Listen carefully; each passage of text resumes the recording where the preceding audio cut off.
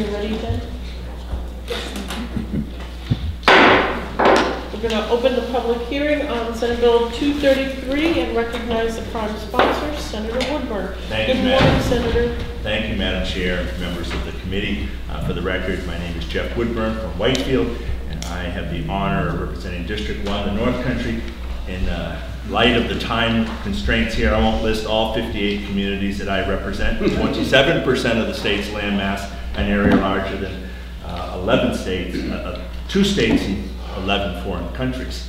Uh, and a lot of very independent-minded people who kind of like doing, doing their own thing now and then. And I'm here to introduce Senate Bill 233 relative to the legalization, and regulation of marijuana and establishing a committee to study that. Um, the goal of this legislation, Madam Chair, is to legalize, regulate, and restrict access to marijuana uh, to children and young people who shouldn't have it. The idea, which I had in front of you, and I'm, I'm not going to, you know, go through all the details. You can read it and make your own determinations on the process. But to say I am open to any suggestions, any amendments to improve this bill, as I am with all my legislation, with the exception of the date. I think it's very important that we have a firm date of legalization, that we set forth a process that recognizes uh, what's going on around us, that recognizes what's going on within the hearts and minds of the electorate, and is practical and methodical about how we approach this issue. Um, so I, I look forward to that opportunity to hear your opinions and make adjustments if necessary, provided that we stay on the course of legalization on January 1, 2020. Um, and, and I'm, I'm not going to go into the details of the bill. I'll answer questions about the method, the method behind um, the process. But to say that um, this is practical, when we see seeing around the country, and today, um, 25% of the people in our country live under, under legalization, in legalization states, is that we have a system that the legislature, their government has not been responsive to the desires, the needs, the demands of the electorate, and they have jumped over the electorate, uh, jumped over the civil government and went directly into doing government themselves through referendum like we've seen in Maine and in Massachusetts and other states. And I think that creates a, a problem of legitimacy of our government. And as a civics teacher, and I know Madam Chair as a teacher as well, uh, we need our laws to have legitimate legitimacy and live within the hearts and the minds of our people. And they have to believe that it is right. And I think this process would permit change in a good New Hampshire way of bringing everybody along, inviting everybody to participate in the process, but not denying the inevitability of this, uh, this, uh, this, this, this, uh, this, this fact that I believe uh, that eventually, inevitably, marijuana will be not only legal in the state of New Hampshire, but legal in this country. Uh, we should not bury our heads in the snow, clinging to worn out notions, ignoring the actions of our neighbors and the will of our constituents. And we shouldn't be making a mockery of our laws, our basic legitimacy of both the court and our civil government, and most importantly, most importantly, in the live free or die state, we must not make good, honest, hardworking citizens criminals because they choose to smoke marijuana. And I would also add just a little anecdote that I learned in Berlin uh, from the police department that um, a uh, recently found uh, marijuana laced with fentanyl, which puts those people who choose to uh, smoke marijuana at risk of their, their very life. And nor should the state of New Hampshire be a nanny state peeking into our neighbors, worried sick about their morals or their health. We need to be, listen to our people. We need to face this with a, in a practical, realistic way and set forth to 2020 that we will move towards. We will build a system that is truly a unique New Hampshire system. We will model it after the way we came out of prohibition and created our, three, our three-tier liquor system by looking at this and planning for the inevitable.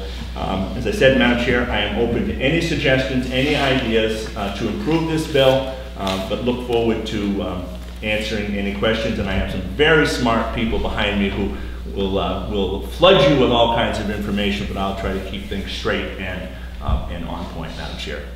Thank you very much for your testimony. Senator Woodburn, are there any questions from the committee? Seeing none, thank you. Tremendous, tremendous restraint. Thank you. Um, the chair will call, um, the Honorable Burt Cohen.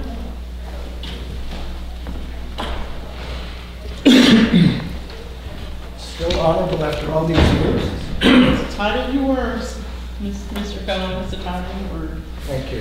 For the record, Senator, uh, former Senator Burt Cohen, you start that off, just sort of kicks in. I was uh, in the Senate for 14 years, from 1990 to uh, 2004, and there is life after the Senate. But uh, I'm here to testify briefly. Thank you for your courtesy. I really appreciate that. I got a radio show to do at noon, so it supports me. Um, It's been out of control for a long, long time. I have two young daughters, one's 16, one's now 20. It's super easy for them to get, and I don't like it. I don't like it. You know, and there is, there's no age, there's no control. I, a letter from uh, somebody out of the blue says, wrote to, regarding this issue in Maine, when this guy, when he was 17, wanted to buy alcohol, he couldn't do it. Sometimes uh, he'd ask for an ID, claim it was in the car, and go out and drive to the next store. Sometimes I couldn't find any stores willing to sell me, so I couldn't drink. But I never had a pot dealer ask me for an identification. Uh, it is out of control now. You know, we all know that there are problems with it. We need to educate. We've tried prohibition, prohibiting alcohol. Alcohol can be a very dangerous drug.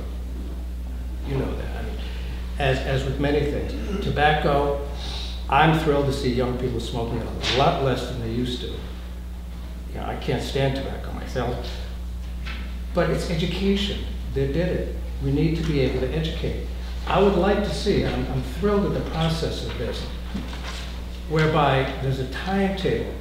I think education is extremely important. I recognize there's a lack of funding for everything here. But uh, if this bill, I mean, I'd like to see, we have alcohol nicely under control here, I think, in this state. We have a setup, a system, it's age 21, the state makes a lot of money from that. I understand about, I don't know for sure, $50 million or so per year could come in from taxing marijuana.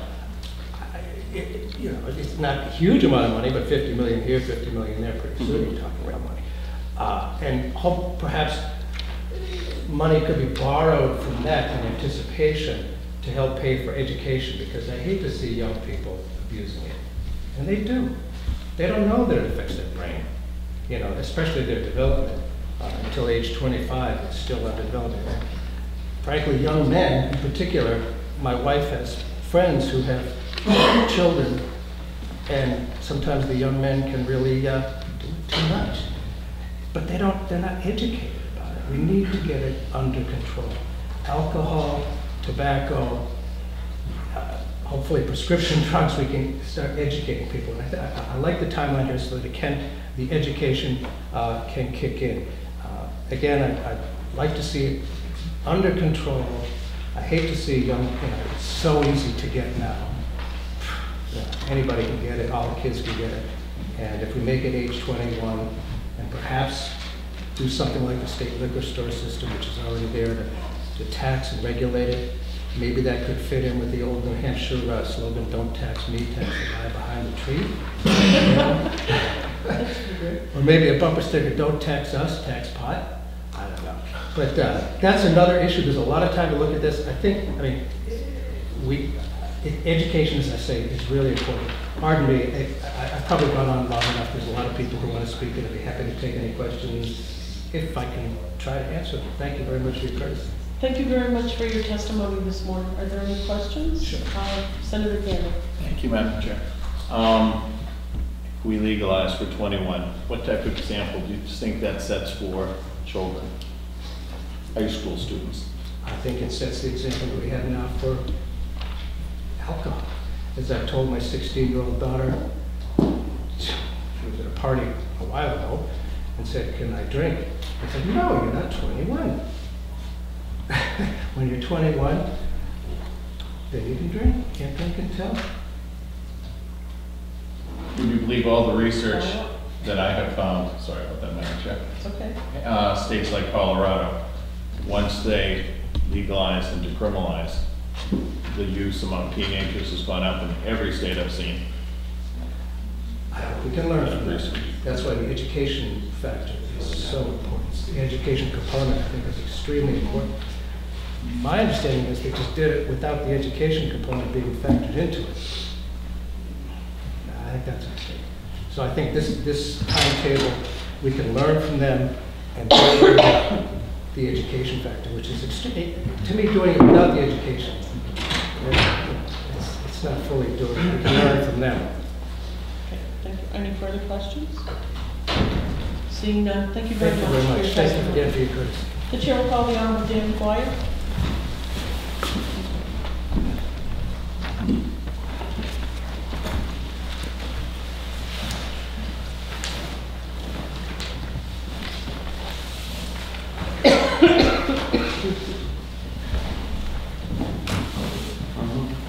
Um, Thank you very much, Madam Chair. For the record, my name is And uh, today I'm representing the New Hampshire Liberty Alliance. I'm a member of the board. Um, I'll wait a moment. I'm getting out a little chart, which is my, my favorite chart when it comes to public policy.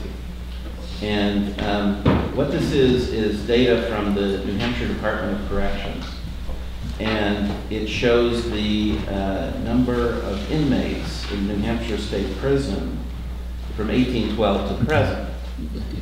And to me, this chart shows that there's something seriously wrong with our criminal justice system. You can see in 1980, um, there were, turns out, uh, 287 inmates, an all-time high. Today, 45 or so years later, there are 2,631 inmates in New Hampshire State Prison. Um, If this was strictly a chart that, uh, where the number of prisoners increased as the population of New Hampshire increased, there would be uh, 415 inmates. So what- what, what's happened is that the number of inmates in prison today is six times what it really ought to be from the historical perspective. And so why is that? I think this chart is showing you the war on drugs. Um, there may be other things, if you talk to the, um, Commissioner of, of um, Corrections, they may tell you, well, this is truth in sentencing also, there's other factors. But primarily, I think this is the war on drugs. I do not think that somehow the people of New Hampshire are more criminally minded, more evil, badder people than they were 40, 50 years ago. That doesn't make any sense to me. We have the same people that we, that we've always had, for the most part, not six times worse. And so there's way, way too many people in prison. This is the, this is the picture of the war on drugs not working. And what do, what do an extra 400, uh, Uh, sorry, an extra 2,000 people in prison cost us? Well, it's, what, $40,000 apiece, times 2,000 people, $80 million a year, something like that, right? It's a ridiculous, amount, and that's just prison. We're also spending on prosecutors, on cops, on everything else combined.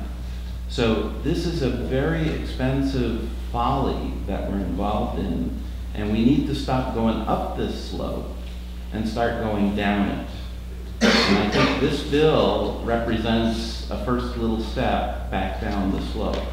Marijuana is, um, you know, the, the mildest, I guess, of the illegal drugs that we, that are things that are banned. This is, this is just making, legalizing a very small amount of it and so on. So this is a little step, in my opinion, in the, in our opinion, in the right direction.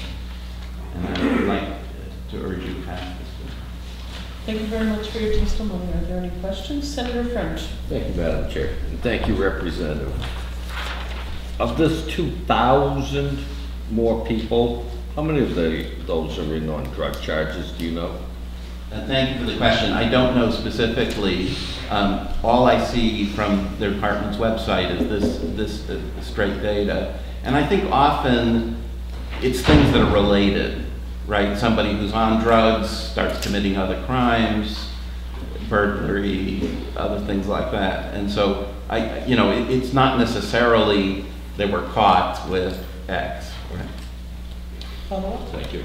So, changing the marijuana laws ne- wouldn't necessarily change these uh, figures, because these are not in for drug possession charges, they're in for drug-related charges such as theft, burglary, and what have you. Yes, thank you for the question. So it, I don't think all of a sudden 2,000 people are going to walk out of prison and so on because this bill is passed. No. But I think we will start to turn the corner and start to have a sensible drug policy and, and start treating drugs as the medical problem that they are and not the criminal problem.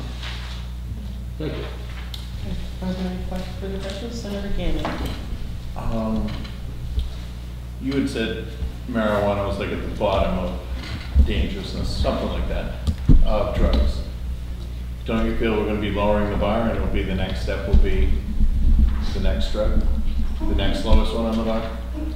Do you feel you're lowering the bar? Could you please hold on a second? There will be no comments, no chatter, no laughing, no clapping, anything like that to any testimony. If it happens again, I will have you removed from the chamber. Thank you. Please continue. Um, Yes, thank you for the question.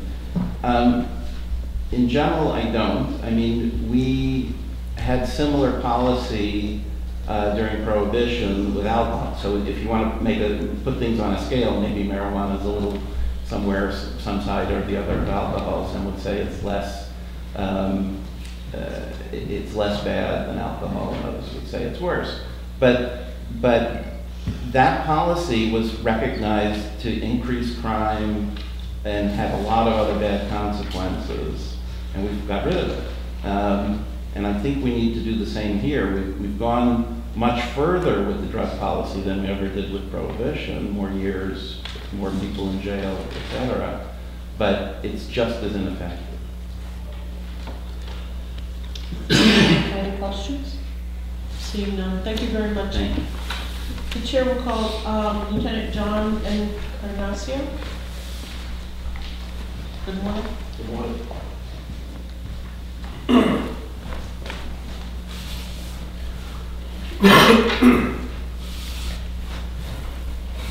My name is John Encarnacao.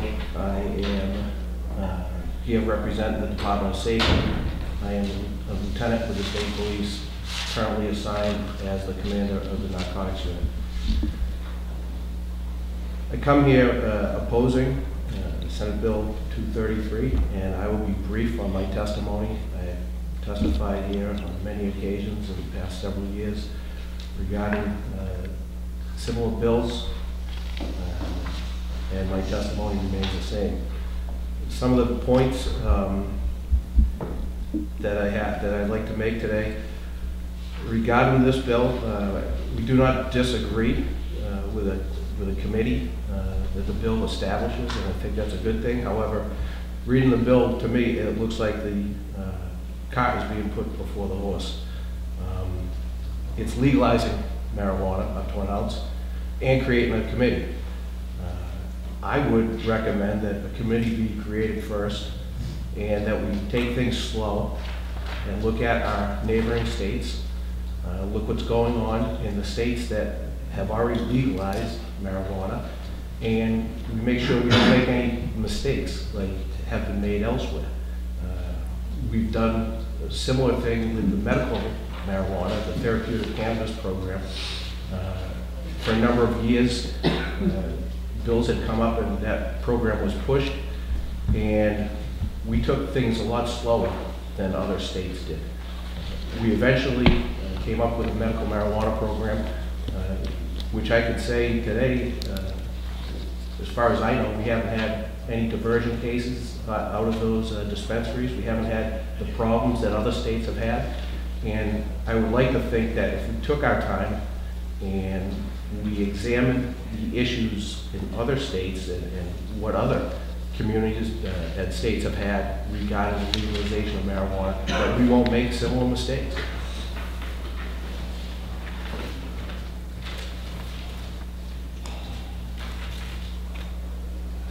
Just a couple of points that I'd like to make. Um, New Hampshire has a drug problem, and, and there's, there's no uh, there's no hiding that, obviously, with the, with the opioid crisis going on. But we have an an addiction problem here. The studies have shown that New Hampshire has a high incidence of addiction a- and of uh, uh, drug problems. The legalization of marijuana, I would ask you, is is that going to make things better? Or is it going to make things worse? Regardless of how much time we take and, and how long we examine uh, the best way to do it, is that going to make things better or worse? It's certainly going to make things more complicated.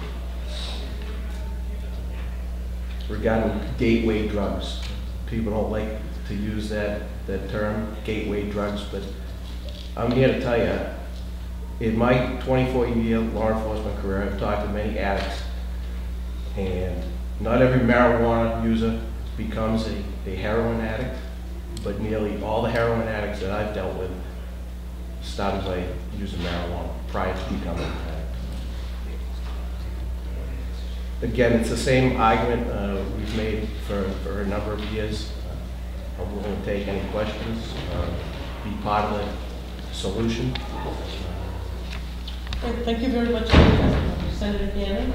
Uh, Last week I spoke with the head of the state police, and he described the opioid crisis as being a poly user. The typical user is using opioids, marijuana, a mix of drugs, and there's not a, it isn't someone who's just using opioids and fentanyl. They're using everything from marijuana. And he described the average user as a poly user. Is that a term or an idea, a concept you've heard of? There, there are poly drug users. Uh, lot of uh, individuals with addiction problems will use a, a wide variety of, of uh, uh, illicit narcotics. Um, But there are, are also just as many that are strictly using one. Uh, More recently, we're seeing more methamphetamine with uh, um, opioid use. Thank you. Senator Lasky? Thank you, Madam Chair. Good morning. Good morning. Um, is it possible that the fact that, you know, uh, drug users start with marijuana is because it's the most accessible and easiest to obtain? It could be, in my opinion, and and part of the reason being here, I have uh, young children myself, and I think that looking at them and their friends, they have high school age kids right now, they look at what's accessible, but also what's dangerous, what, what is, is taboo, you know, what, you know, okay, smoking cigarettes, or using, chewing tobacco, uh, you know, stole some, uh, uh, alcohol from mom and dad, we were able to get a case of beer, or a- a bag of marijuana, or, you know, you start going up the chain, you know, where does everything fall? And those things that are down on the lower level are obviously, those are the ones that are gonna be, uh, used, more often. Thank you. Uh. Well, you know, clearly we kept, tried to keep marijuana in, in that, you know, non-legal or, you know, make it because of that higher up on, on your chain. And that hasn't been working, um, I, I'm assuming. And so where do you see that, you know, legalizing and mostly taking away the severe penalties of, of having marijuana, you know, causes it to be more of a, of a taboo. Again, from, from the position that, that I'm in, um, I, I've seen, I've seen kids, uh, look at marijuana like it's not that big of a deal. Um, They have made some, and again, I'm, I'm looking at more from a parent rather than of a, uh, of my position as a drug unit commander, simply because we're dealing with more mid to upper level uh, drug traffickers, so to speak. But from, you know, just a law enforcement standpoint, or even a parent standpoint, I see my, my kids' friends and, you know, what they understand is, you know, it's not too bad, it's kind of harmless.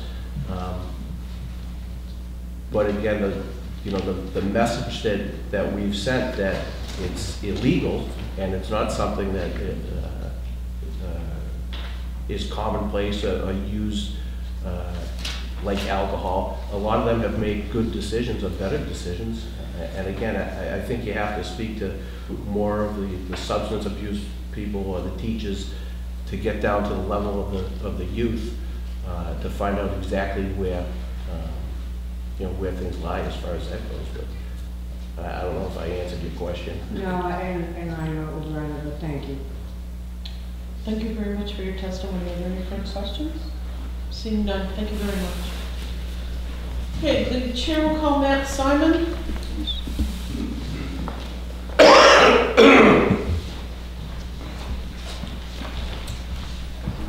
Good morning, Mr. Simon. Good morning, Madam Chair.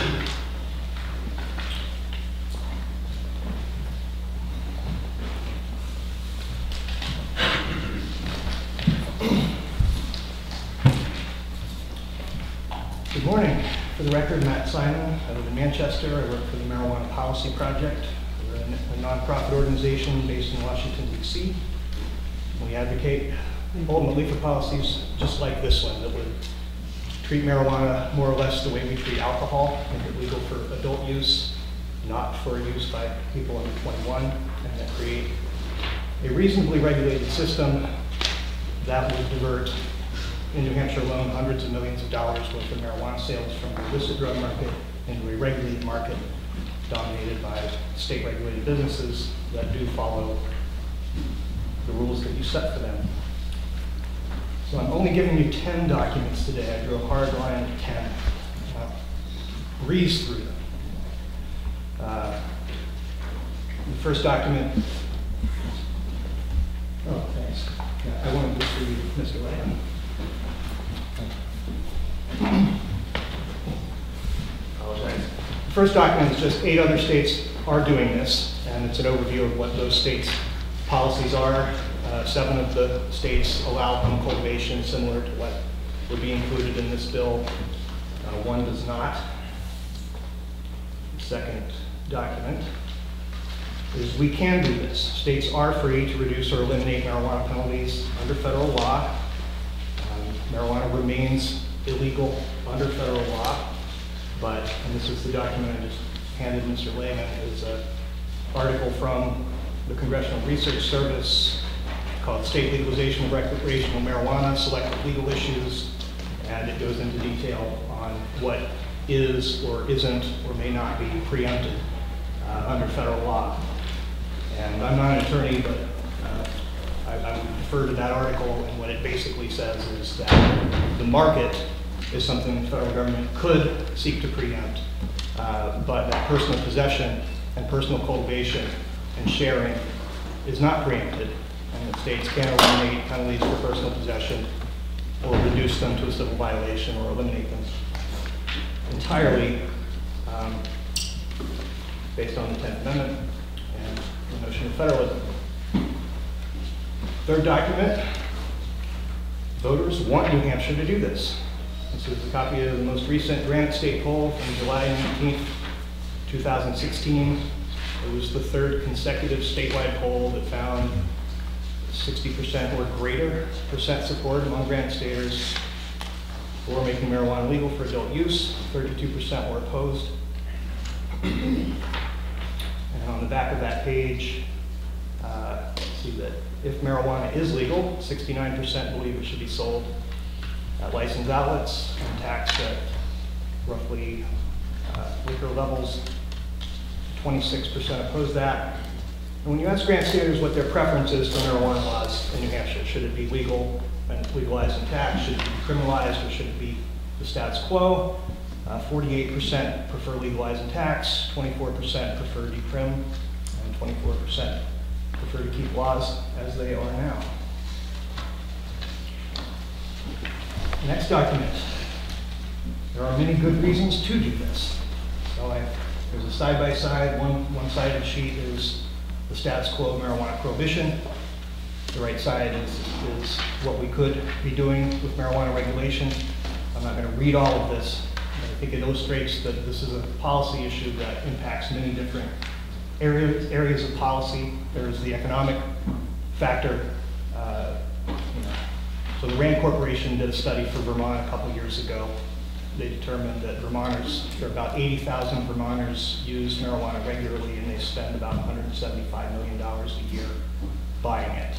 New Hampshire has roughly identical rates of use to Vermont and about twice the population. So back of the napkin, 150, 160,000 regular users in the state spending somewhere around $350 million a year. All of that money going to people who are committing felonies by definition, all of it going to illicit drug dealers.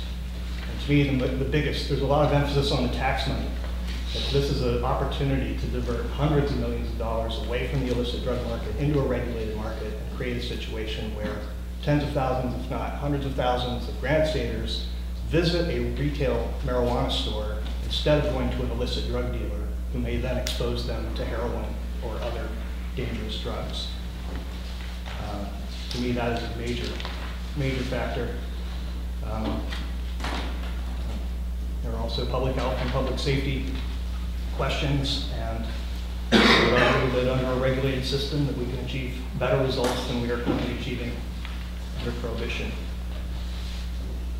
Okay, so why wouldn't we do this if the first four documents I told you were true? So the objectives have been teen marijuana use uh, will increase if we do it, and I would disagree with the way the data has been characterized. The document I've given you has all of the data from all of the surveys in all of the states where marijuana is legal. I would ask you to show me where it is skyrocketing or shooting up anywhere. Um, When people say it's skyrocketing, they're usually talking about the National Survey of Drug Use and Health, which is the top of the second page, the second one down. And There was an increase uh, from 1213 to 1314, which the Substance Abuse and and Mental Health Administration statistician said was a statistically insignificant increase. And then in the data released just in December of last year, it had fallen back to just under the previous level. That certainly doesn't look like skyrocketing. They sold $1.3 billion worth of marijuana last year in Colorado through the licensed market. They collected just under $200 million in taxes. And they believe, based on their own much larger state survey of the population, that teen use isn't up at all and that their prevention and education programs are making a big difference. And they're very happy that they have a revenue stream now to fund that sort of thing they did not have before. Not going to pretend that there weren't some early hiccups in Colorado. Everybody would like to go back and do edible regulation over, so we didn't have 100 milligram candy bars that people were over consuming. Uh, but overall, I would say that it's been a successful policy. There are more quotes later. Um, So we've heard of the opiate problem. Certainly, we all, we all acknowledge that the opiate problem is severe in New Hampshire and is, everybody is troubled by that in this conversation. The question is, do we do a better job by regulating marijuana, or would that make things worse? And I think the data is, certainly as far as medical cannabis, we're seeing that states with effective medical marijuana laws have about a 25% lower fatal overdose rates than states that don't. Uh, And that reduction was greatest in states that have a robust network of dispensaries. So you know, We've heard from patients over the years who are using cannabis because we've been prescribed OxyContin, but we find that marijuana helps with our chronic pain and is much less addictive and harmful. So allowing, expanding access, whether it's by making, making it available through chronic pain, we often hear this described as recreational marijuana. What making cannabis legal for adult use does is makes it legally available to any adult 21 or older who wishes to use it for any reason. And that's going to include people who are unable to qualify for the current medical cannabis program. Maybe they have chronic pain, they're using it for insomnia, anxiety, post-traumatic stress, or any other of a range of conditions that they cannot get approved for in the state. I'd also push back against the gateway argument. Um, There's a quote on that opioid one pager that quotes the Drug Enforcement Administration from this summer. Uh, You may recall they declined a petition that would have moved marijuana to Schedule II. And I'd encourage you to read their entire document. Uh, There's a section on the gateway theory, and they say, overall research does not support a direct causal relationship between regular marijuana use and other illicit drug use. That's from the DEA. Uh, The Institute of Medicine had previously reported back in 1999, there's no evidence that marijuana serves as a stepping stone on the basis of its particular phy- physiological effect. They theorize that if there is a gateway effect, it's the fact that people buy marijuana from an illicit drug dealer rather than, obviously, from what I mentioned before, breaking that link by having people buy it from a retail marijuana store. Public safety problems.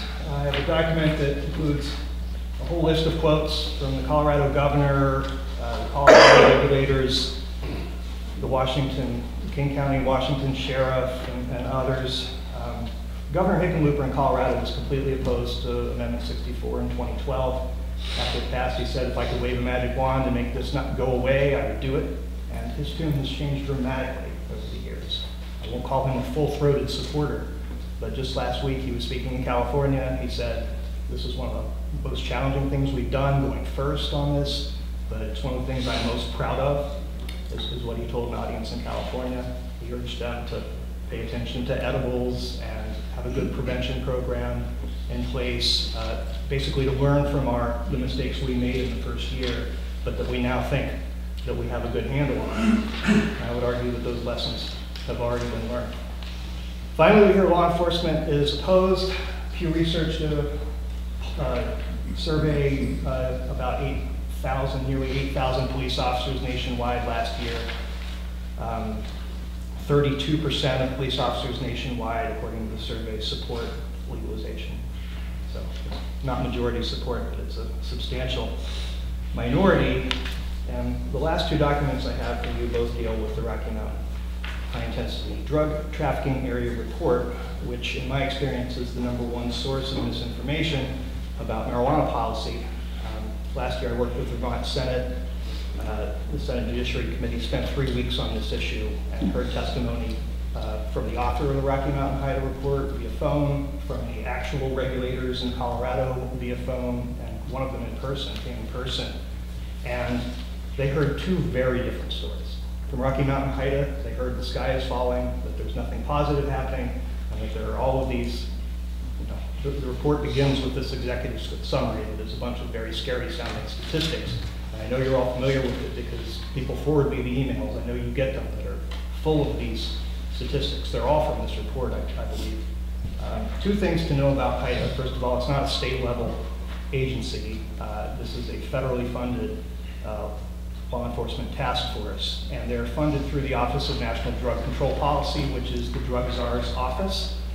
Um, Can we trust the drug czar's office to tell us the truth about marijuana? Well, I would like to think that we could, but I- I'm familiar with that uh, agency's authorization language. The federal ONDCP Reauthorization Act of 1998 requires it to, quote, "ensure that no federal funds shall be expended for any study or contract relating to the legalization of a substance for medical use or any other use listed in Schedule 1, and take such ac- actions as necessary to oppose any attempt to legalize the use of any Schedule 1 substance."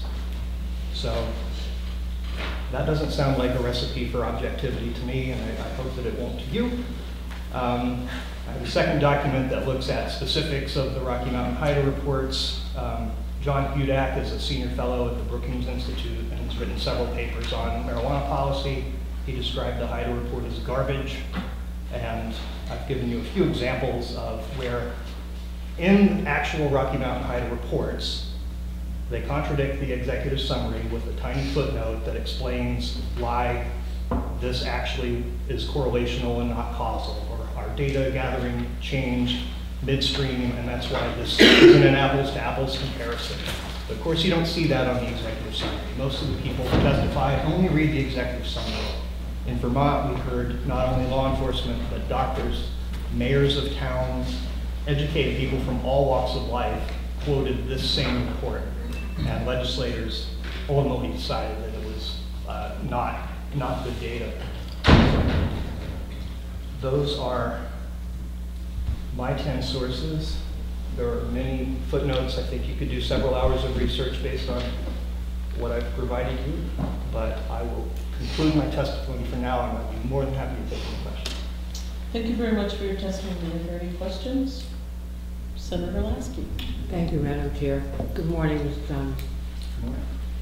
It's my understanding that when Coloradans put in their legalization law, that there's a certain amount of, of the money that is realized from that, that's uh, dedicated to research. Am, am I correct on that? Um, I'm not entirely sure.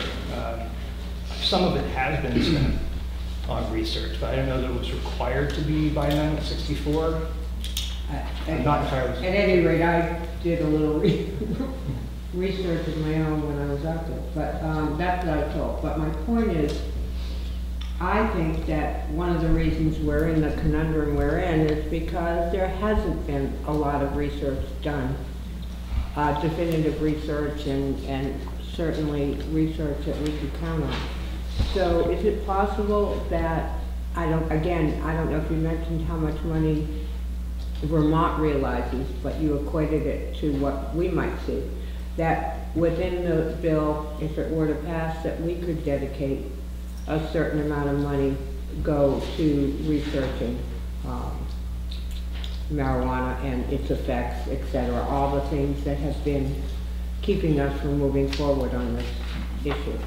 Yeah, Thank you for the question, Senator. I do believe that would be an option and one that the study committee could, could consider would be to target tax revenue towards research. I would, from my perspective, in, in one sense, you're absolutely correct that there's not been enough research. There's not been the type of research that would result in cannabis being approved as a pharmaceutical. On the other hand, there's been a tremendous amount of research. And from another perspective, this plan has been studied as much as any plan that we have, except that that research has been primarily focused on looking at the harms. So Dr. Sanjay Gupta did a lot of reporting on this several years ago, and uh, from his perspective, 93% of the studies, he said that 93% of the studies I found done in the US are looking for harms, and only 7% are looking for benefits, and that that produces a dramatically distorted picture. When I was growing up in the 80s, they told us it kills brain cells, it make you crazy. We didn't have the internet then, it was easy to believe those things. I'm, I'm glad I didn't try marijuana until I was in college. I certainly agree that there's concern in research that suggests that heavy use by adolescents is problematic. I think that any serious advocate wants to take that seriously, uh, but I also believe that prevention and education are what really dictate that, uh, whether you're successful in that. So all of these studies looking for the harms associated with marijuana, well, never caused a fatal overdose. Uh, it can be habit forming for, for some people, but much less so than alcohol or tobacco, those legal drugs. Um, there is a, there, are certainly negatives associated with it, but uh, alcohol kills 2,200 people a year in this country by poisoning alone. Uh, they drink too much and are not alive the next day. Uh, it kills, I think, 37,000 or so just from the health effects annually. Tobacco kills just short of half a million people a year, according to the CDC. They don't even have a category for deaths caused by marijuana. So for people, I mean, the dream of creating a drug, drug-free America, which was the point of uh, the, uh, was the stated purpose of, of anti-drug legislation in the 1980s, was to create a drug-free America. That hasn't worked out so well. That was a utopian dream. And I think the bigger question we all have to ask ourselves, can we get, can we achieve better results through a moralistic, just say no type program, or should we approach this as managers and try to, what are, what are the things we're concerned about? How can we minimize those potential effects while adopting a realistic policy that would be an appropriate state response to the fact that over 10% of your constituents already use this plan? I just one, Follow-up? one more question, thank you. Is alcohol as much a gateway drug? Uh, or could it be considered, has, has it been considered as much a gateway drug to other, uh, drugs as marijuana or anything else? This is not exactly my area of expertise, but the research that I've read, most addiction experts now believe that addiction is less about the specifics of one chemical or another chemical and more about a response, uh, you know, that people are used to. I mean, anything that produces a dopamine reaction could potentially be addictive. Chocolate, good food, sex, people become addicted to all of these things and use that word. Uh, With cannabis dependence, it's in the DSM, but there is a cannabis withdrawal syndrome. There's also a caffeine dependent syndrome as well. And- And the symptoms are similar. Uh, Irritability, and, you know, insomnia, if you try to stop using it, irritated and have trouble sleeping for a few days. But to compare that with physical withdrawal symptoms associated with alcohol or opiates is, is not at all a fair comparison. So is it a gateway drug? Well, it could be. Anything that, that uh, somebody early in life uh, finds produces pleasure and becomes a go-to for, oh, I don't feel good, I'm going to do this, can become addictive. So certainly cannabis can do that, alcohol can do that. But the gateway, in my opinion, is very much, uh, if, if- if cannabis is a gateway at all, it's the fact that we have to buy it from illicit dealers. Thank you, thank you very much. You're welcome. Are there any further questions? Seeing none, thank you very much for your testimony. The chair will call Kate Frey.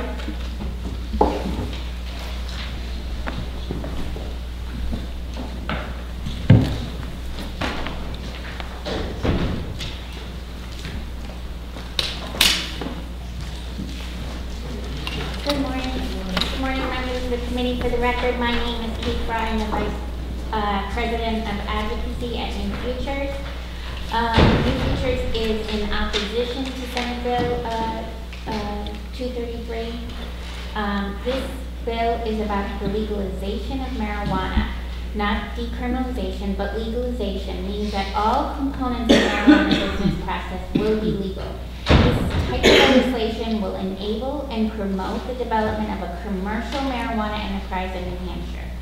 This enterprise would include an active network of growers, manufacturers, distributors, and retail establish- establishments with high-potency marijuana-based oils and tinctures and edible products such as marijuana-infused candy and baked all operating with a profit motive and the incentive to increase consumption by marketing to create new users and maintain heavy users. Just like lessons we've learned with big tobacco and big alcohol. We strongly oppose this legislation because of the grave implications to our youth, negative impacts to public health and public safety, and a threat to New Hampshire's quality of life. These values are pretty big trade-off for a possibility of limited revenue. Uh, Youth access to marijuana, I'll touch on a few points that we um, learned of the impacts in other states. Youth access to marijuana. Access to marijuana will increase youth use and negative implications that follow. It is a proven fact that the more available marijuana is, the number of youth users will increase, as well as those with problems from excessive use. Colorado has seen increases in youth use following legalization. Um, this information is uh, from the HIDTA report, which the previous speaker spoke of. Um, that data is, that that report is full of data from CDC, Department of Revenue, Department of Education, Public Health, um, all well-known sources. Um, in the two-year average since Colorado legalized recreational marijuana, um, youth past use has increased by 20% compared to the two-year average prior to legalization. The nationally used past month marijuana use in that time period declined by 4%. Um, it does show that Colorado youth ranked number one in the nation for past marijuana use, up from number four in 2011 and 2012. And marijuana use was, uh, Colorado youth past month marijuana use for 2013-2014 was 74% higher than the national average compared to 39%. Public health and safety. Colorado has also seen negative impacts, public health and safety outcomes affecting their state since legalization. A 49% increase in the number of marijuana-related emergency room visits, and a 32% increase in the number of marijuana-related hospitalizations. Marijuana-only related exposures increased 155% in the three-year average since Colorado legalized marijuana. And there's been a 62% increase in marijuana-related traffic deaths after marijuana was legalized. Proponents of legalization of marijuana stress that these efforts will eliminate the black market. However, Highway Patrol yearly interdiction seizures of Colorado marijuana increased 37% from uh, 288 to 394 since recreational marijuana was legalized. So let's talk about revenue. Supporters of legalization believe that the state will gain a windfall of revenue due to legalization. However, Colorado's annual tax revenue from the sale of recreational and medical marijuana was only about 0.5% of the Colorado's total statewide budget. While taxpayers in Colorado promised marijuana revenue would replace the income tax or fill holes in education and other services that have been cut over the years, those promises have not come to fruition. New Hampshire still does not correctly allocate profits from the sales of liquor for prevention, treatment, and recovery 13 years after the alcohol fund was created. Passing this bill will put us in a similar situation with yet another harmful substance. In closing, I just want to leave you with a visual. As of January 2016, there were 424 retail marijuana stores in the state of Colorado, compared to 322 Starbucks and 202 McDonald's. Is that what we want for New Hampshire? We are in a situation where we can wait and see what happens in other states that have made steps towards legalizing. Let's what, let's do what is right for New Hampshire and avoid other states' missteps. We urge the committee to vote in proceeding to legislate on Senate Bill 233, and I have copies of my testimony for the committee. Thank you very much for your testimony. Are there any questions? Senator Maskey? Thank you, Madam Chair. Uh, you said there were, I believe, sixty-two percent increase in traffic deaths in Colorado. Were those attributable to marijuana use, or was that just overall increase in traffic deaths? It was related to marijuana. Thank you. Further questions? Seeing none, thank you very much. Thank you very much. Um, At this point, we've had a number of individuals come forward and testify, so I'm going to ask the folks that are coming up now, um, please don't repeat testimony that we've already heard. We want to hear new testimony. Um, If you have written testimony, please do not read that testimony. Um, This bill will not be exec or acted upon today, so the committee will have plenty of time to uh, read all the material that we've been given. So, um, thank you very much. Um, The chair will call Paul Twomey.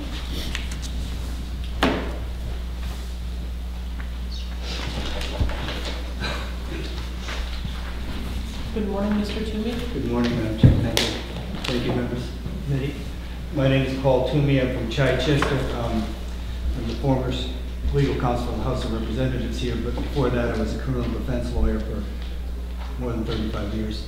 Um, And that's, I think what I bring that's different than anybody else. I do agree with many of the prior speakers who spoke in favor of this bill, and I am in favor of it. Um, In the course of uh, being a criminal defense lawyer, as a public defender lawyer, both in Wisconsin and was here when the public defense was set up in New Hampshire. Um, the course both of those are high volume type practices. Um, the course doing that, over the maybe 20 more years as a um, criminal, private criminal defense lawyer, I've I've had the pleasure of spending about half my life inside prisons and jails, talking to people about what got them to where they were. Um, And it- it- one of the things I've noticed is that it is a constant in human nature that people will always have something they can blame it on. It's either some other person, or it's something bad that happened to them, or in many, many cases, it's something that they took, a substance which they took. I've heard thousands, literally thousands, I'm not exaggerating in any way, people tell me that alcohol got them into a cage, ruined their lives. I've heard people say LSD did it, I've heard people say um, heroin did it, amphetamines did it, that they did things they wouldn't, and I'm not just talking about people that are in there because they got busted for drugs, I'm talking about people that committed crimes because these substances lowered their inhibitions or um, interfered with their judgment. Um, Somewhere near the end of my career, I realized I had never heard a single person ever tell me that they were in a cage because they smoked marijuana and they did something um, that they, they wish they hadn't done. It never happened a single time. I don't think that's a coincidence. After I had that thought, I started asking police officers, because I also spent an inordinate amount of my time talking to police officers, mostly waiting for court. I would often ask police officers, have you ever been in a fight with somebody who was high on marijuana and not also drunk or high on something else? And they would all laugh at it. Um, Not a single police officer ever told me that that they'd had that experience. I would then invariably say, have you ever been in a fight with somebody who'd taken alcohol? And they would all laugh, but it was a different kind of laugh. They all had that happen hundreds and hundreds of times. Um, If you, there's a certain amount of resources that are available to people in the state to deal with, with crimes and with, with antisocial behavior. I think the most important thing in this whole bill here is on the fiscal note, which on the last page of it talks about the Department of Justice. They say there'll be no difference in how much money they'll need because they'll just shift their money to fighting other drugs. I think that would be a very wise shift um, scarce law enforcement money to, to have money that's being, it might be wasted on a very low-level drug. There are some bad benefits of it, but there's bad benefits of coffee. And We don't put people in cages because they drink too much coffee. I, I, I represented, I'll just tell you a very quick story, in the past year, a man who was a Vietnam vet in um, Lebanon, he was busted for less than an ounce, an eighth of an ounce of marijuana, about this much marijuana. Used it because he had a 20-year injury, and it was more than 20 years, probably 30-year injury, service-connected injury, combat-connected injury. Um, and he had a, access to every drug you ever wanted to for painkillers. He did not want to take them. He didn't want to become a zombie. He had found through other vets, and he had no criminal record whatsoever his entire life. And other vets had told him that they could get relief from similar injuries from marijuana, so he started getting marijuana. I believe there were other vets that went at the VA. He got busted. Somebody in his apartment house building was busted him. So he got busted an eighth of an ounce. There were eight, no, excuse me, there were six police officers involved on the case, um, plus two officers, could have been the same person twice, who had to drive a um, eighth of an ounce down to the lab. There was a laboratory analyst involved in it. There was a prosecutor who spent a lot of time on the case. There was myself, and I donated my time, but normally this was a criminal charge. You would have had a um, public defender, that would cost people money. Um, He also had to get a civil lawyer who also donated his time because he, he was living in housing that had been built with federal funds, and the police notified the housing agency, and then they evicted him from the house he'd lived in for 20 years, so somebody from legal assistance was kind enough to come in and help him with that. That was a huge, at the end of the case, the case just went away, okay? Um, But that was a huge expenditure of public um, resources that served nobody any good. All that would have been done better, you know, guarding people on the streets from rapes, robberies, murders, burglaries, thefts. Um, That's a much better use of, of um, scarce public taxpayers' money. Um, There are many other reasons why, why I think um, that it makes no sense. We've had 60 years of of prohibition against treating marijuana with the criminal justice system, and it just hasn't worked. I mean, it doesn't work. I mean, to the extent that there are health problems associated with taking any sort of a substance, and I think there probably are with any substance, those are best dealt with through the public health system. Um, It costs much less money, and it's much more effective. And That's all I have to say. Thank you. Thank you very much for your testimony. Are there any questions? Seeing none, thank you. The chair will call Richard Van Wickler.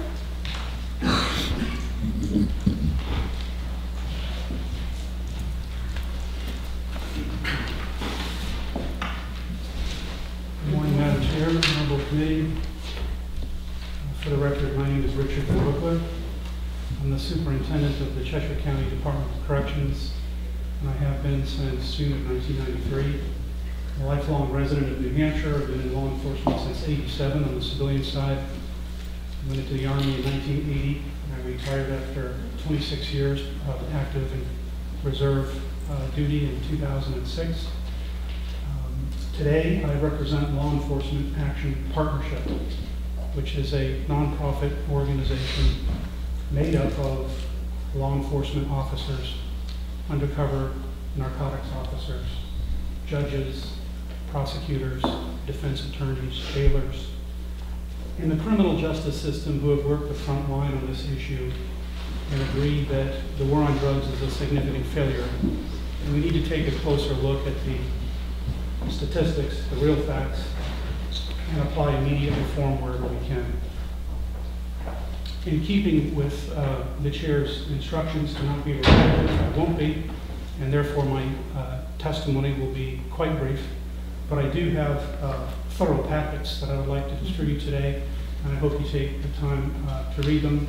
Included uh, in this packet is a legislative brief uh, to Colorado. Uh, The legislators there for the year of 2015, I think it is, uh, and answers a lot of other questions that we've talked about today. So with respect to my uh, brief bullet points that I would like to make that uh, has really not uh, been hit on as well as, as as I would like them to be, um, would be, first of all, I hear a lot about um, the challenges of trying to wrap our head around the legalization of something that's been illegal for so long. And one of the most significant challenges for me as a chief law enforcement officer who's still on the job, uh, and by the way, I took personal time to be here today. Not being compensated by the public to give this testimony. Uh, one of the most challenging things for me was to understand that being an advocate for drug policy reform or being an advocate for legalization is not advocate, being an advocate for use. It is an entirely different thing. Um, each of us have an individual bias, I think, based on our frame of reference in terms of where we grew up, when we grew up, where we work, who we work with, uh, who our children hang out with. We have these individual biases about how many people actually use marijuana. We have our individual biases about whether or not it's a gateway theory or not. But there are facts out there, and there's a lot of opportunity to study. And America is doing it, they're doing it aggressively, and they're moving in the direction of significant reform. And I'm here today um, based on my experience and citizenry in the great state of New Hampshire to say that I think it's the right way to go.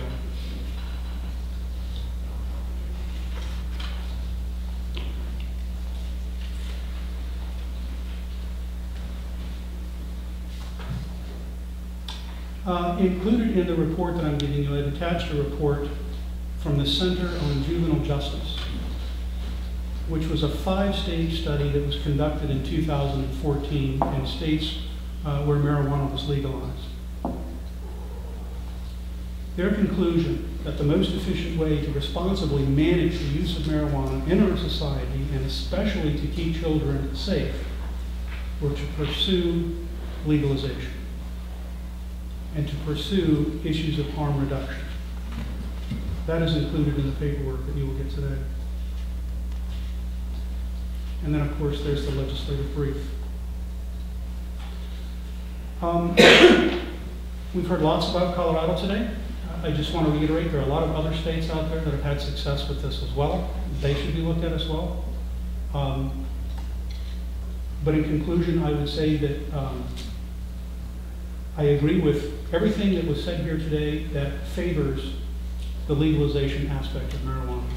I would agree with anybody that says there's good science out there um, that assures us that we're making the right decision when we go down that path. I would caution each of us to make sure that we understand where our sources come from and to make sure that they are in fact accurate.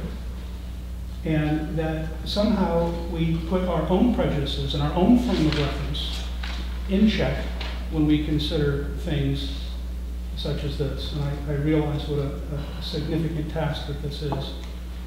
So in closing, uh, I'd like to thank you for your time today. Uh, and I'd like each of you to accept my personal appreciation for your public service to our state. Thank you very much for your testimony this morning. Are there any questions from the committee? Seeing none, thank you very much. Thank you, Madam Chair. The chair will call Dan Goodman.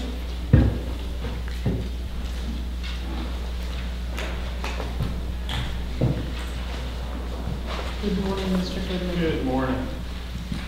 I have a testimony and some fact sheets on some research that my organization. Thank you. For the record, my name is Dan Goodman. I represent AAA Northern New England. I'm the Public Affairs Manager. Um, We're here to, I'm here to oppose this bill.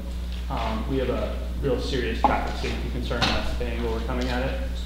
Um, Last year, um, our foundation, the AAA Foundation of Traffic Safety, released some reports that they had done, and I'm just going to quickly outline uh, some of the key findings.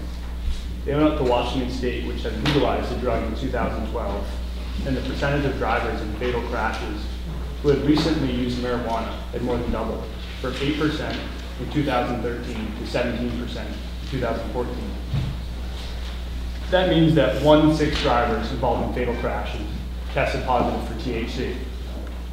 This trend, this trend is troubling because the proportion of fatal crashes involving marijuana had been stable for the past few years. The report also found that after alcohol, cannabis is the most common drug found in drivers who have been involved in traffic crashes.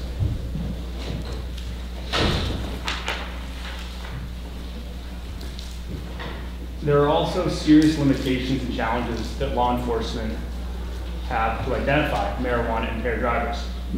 Science does not show that drivers reliably become impaired when specific levels of marijuana are found in the blood. This is very different from alcohol, where it is clear that a crash risk increase- increases significantly at BAC levels, at higher BAC levels. Marijuana impairment varies from person to person. Some individuals with high blood concentrations of marijuana might be mildly impaired, whereas others with low levels might be severely impaired.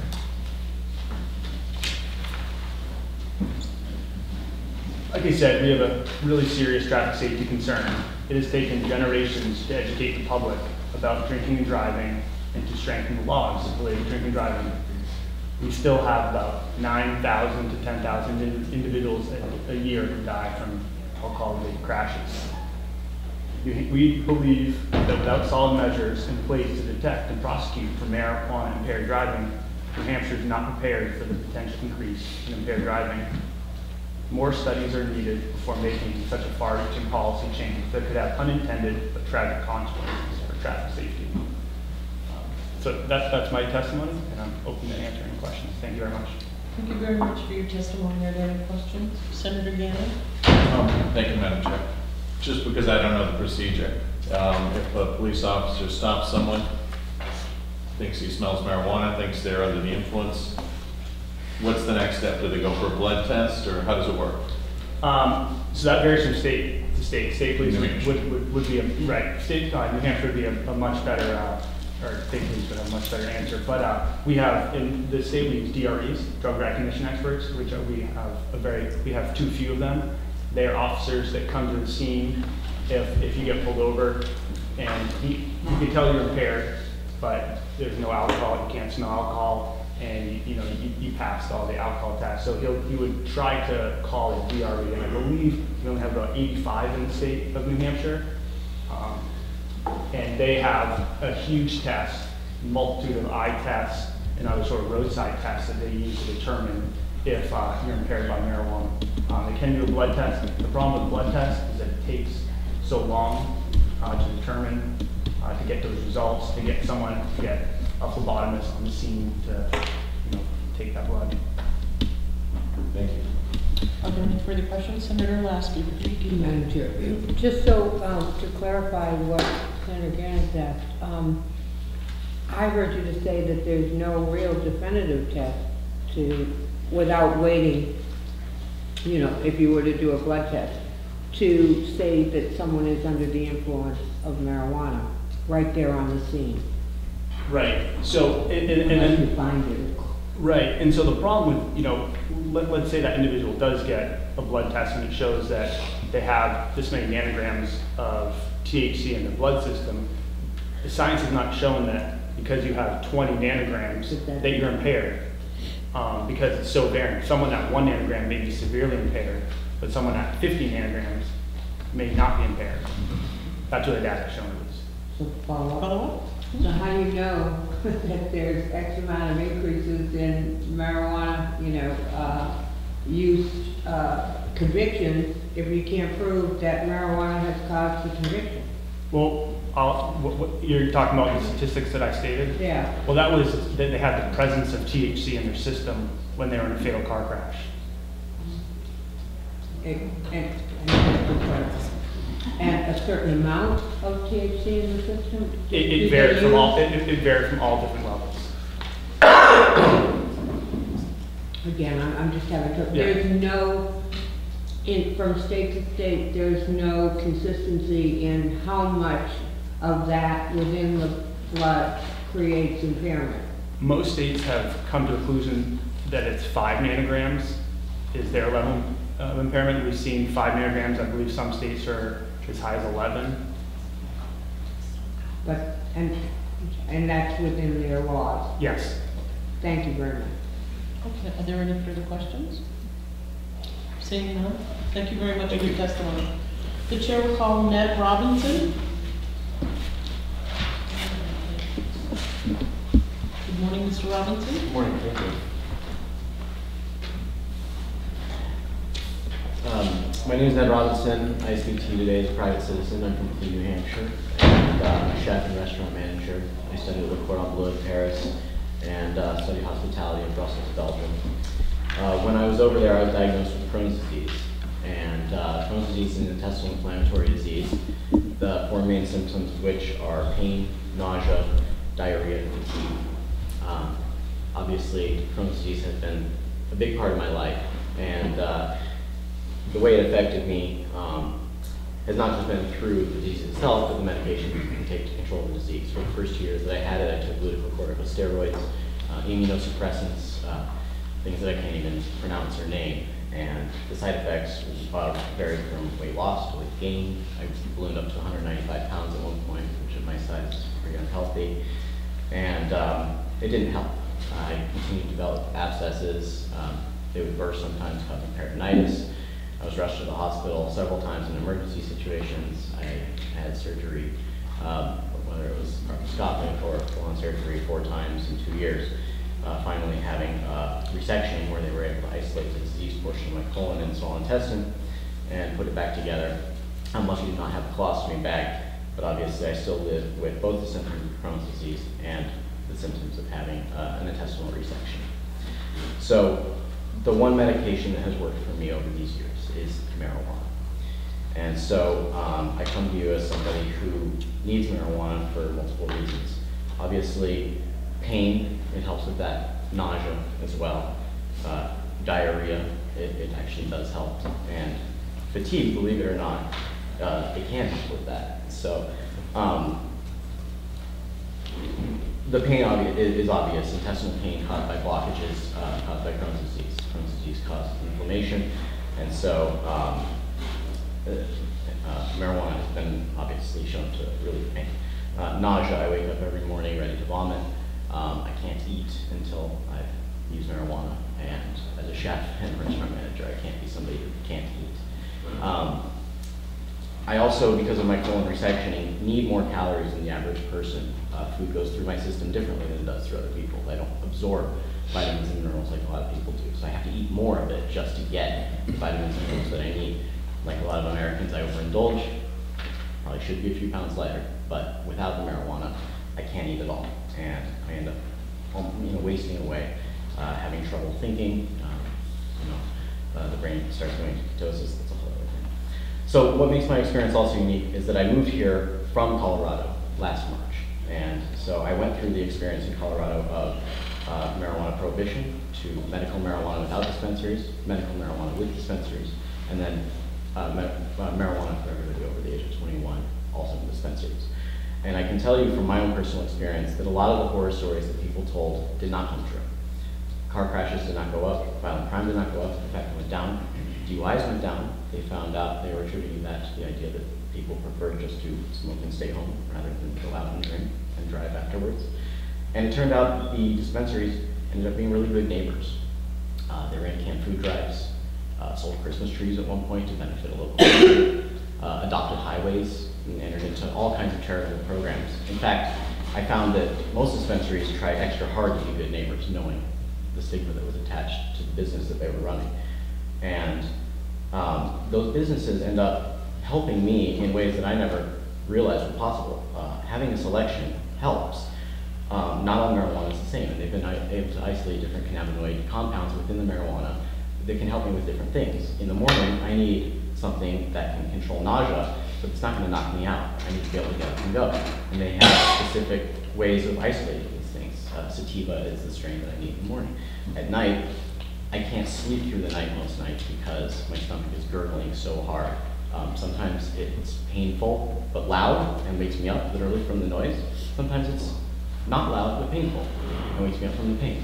So to be able to sleep through the night, an indica is much more preferable. And even in, in Colorado, with the research they've been able to do, they can even extract uh, concentrates. And I know people are scared of these concentrates, but it allows for a combustion-free uh, vaporization instead of smoking, which takes away the risk of tar, all the risk associated with smoking a plant.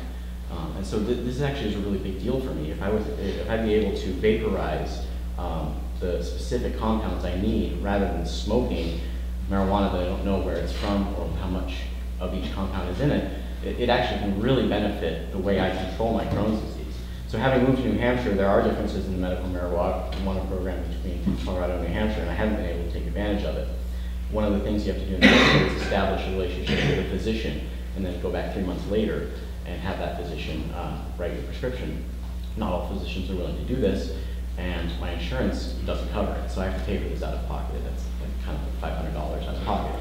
Then I, there's only four in the state, so I'd have to drive at least an hour, probably an hour, 20 minutes to Lebanon or to Manchester to buy it. So we're talking about half a tank of gas every time I needed some.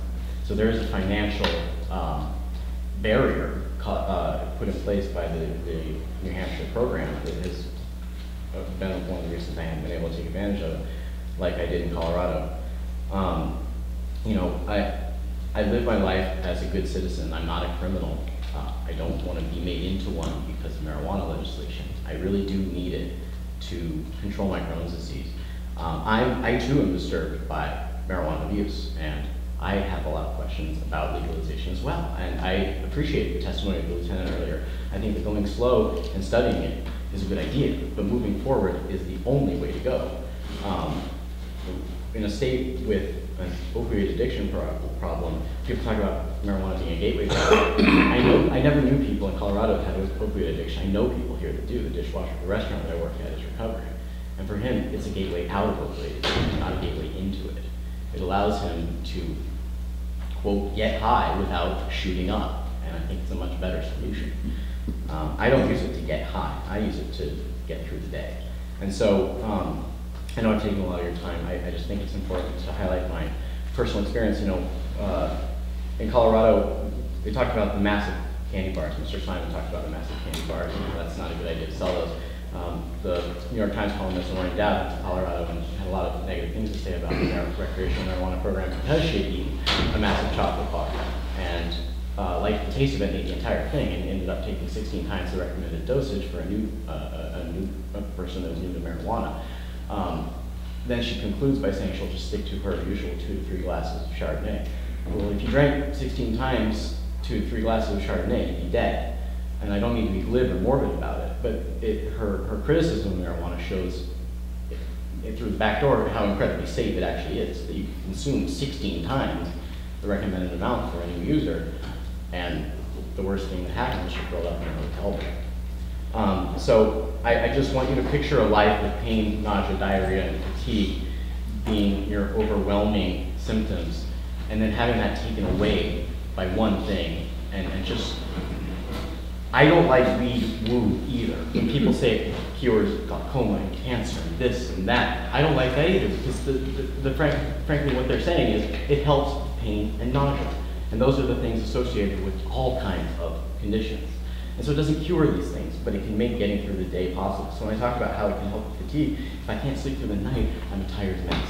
If I can, I'm a productive member of society. I don't need public assistance, I don't need disability, I can go and work instead of being on the dole.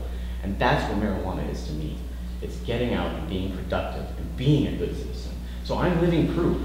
I, I may be contrary to stoner stereotypes, but I'm out there just every day being productive, paying my taxes. And so I moved to New Hampshire and I love it here, but you see it everywhere. Live free or die. Is that a slogan or is that a philosophy? That's what I'm here to ask you today. I have no interest in heroin because I'm not a drug user, okay? I'm someone who uses medication.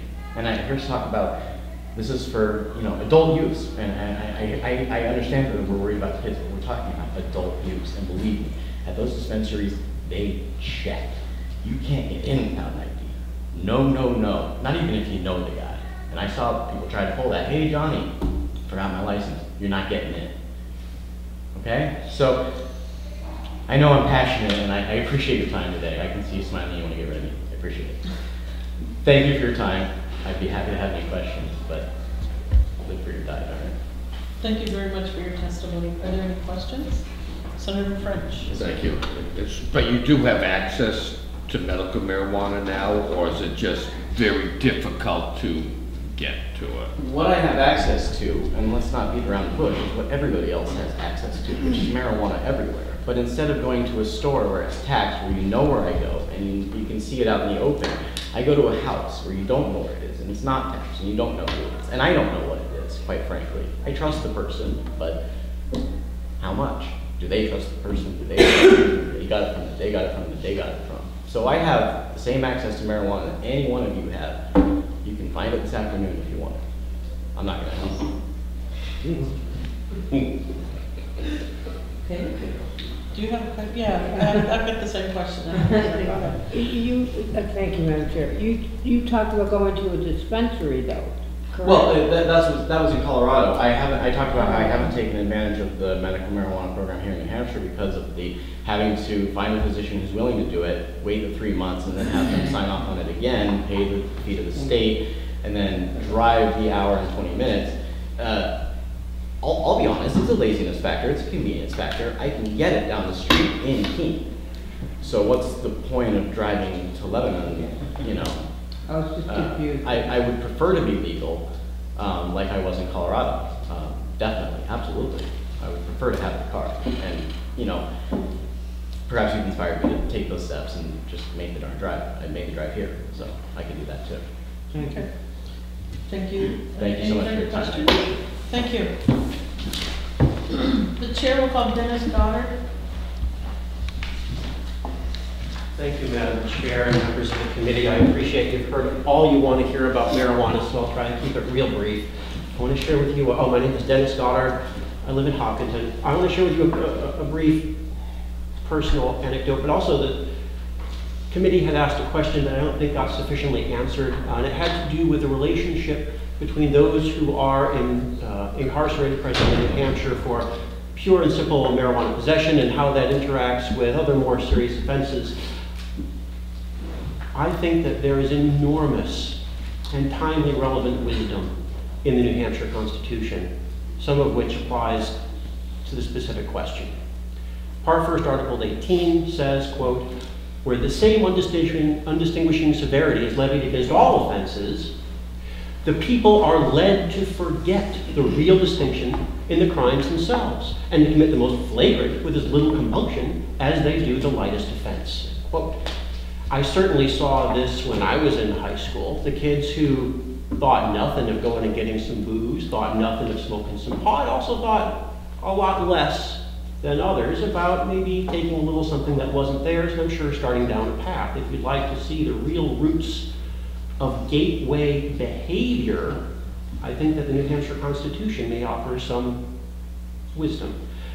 As to the question that I know has got to be on folks' minds, what happens when young people interact with marijuana at a, you know, what kind of a message are we sending?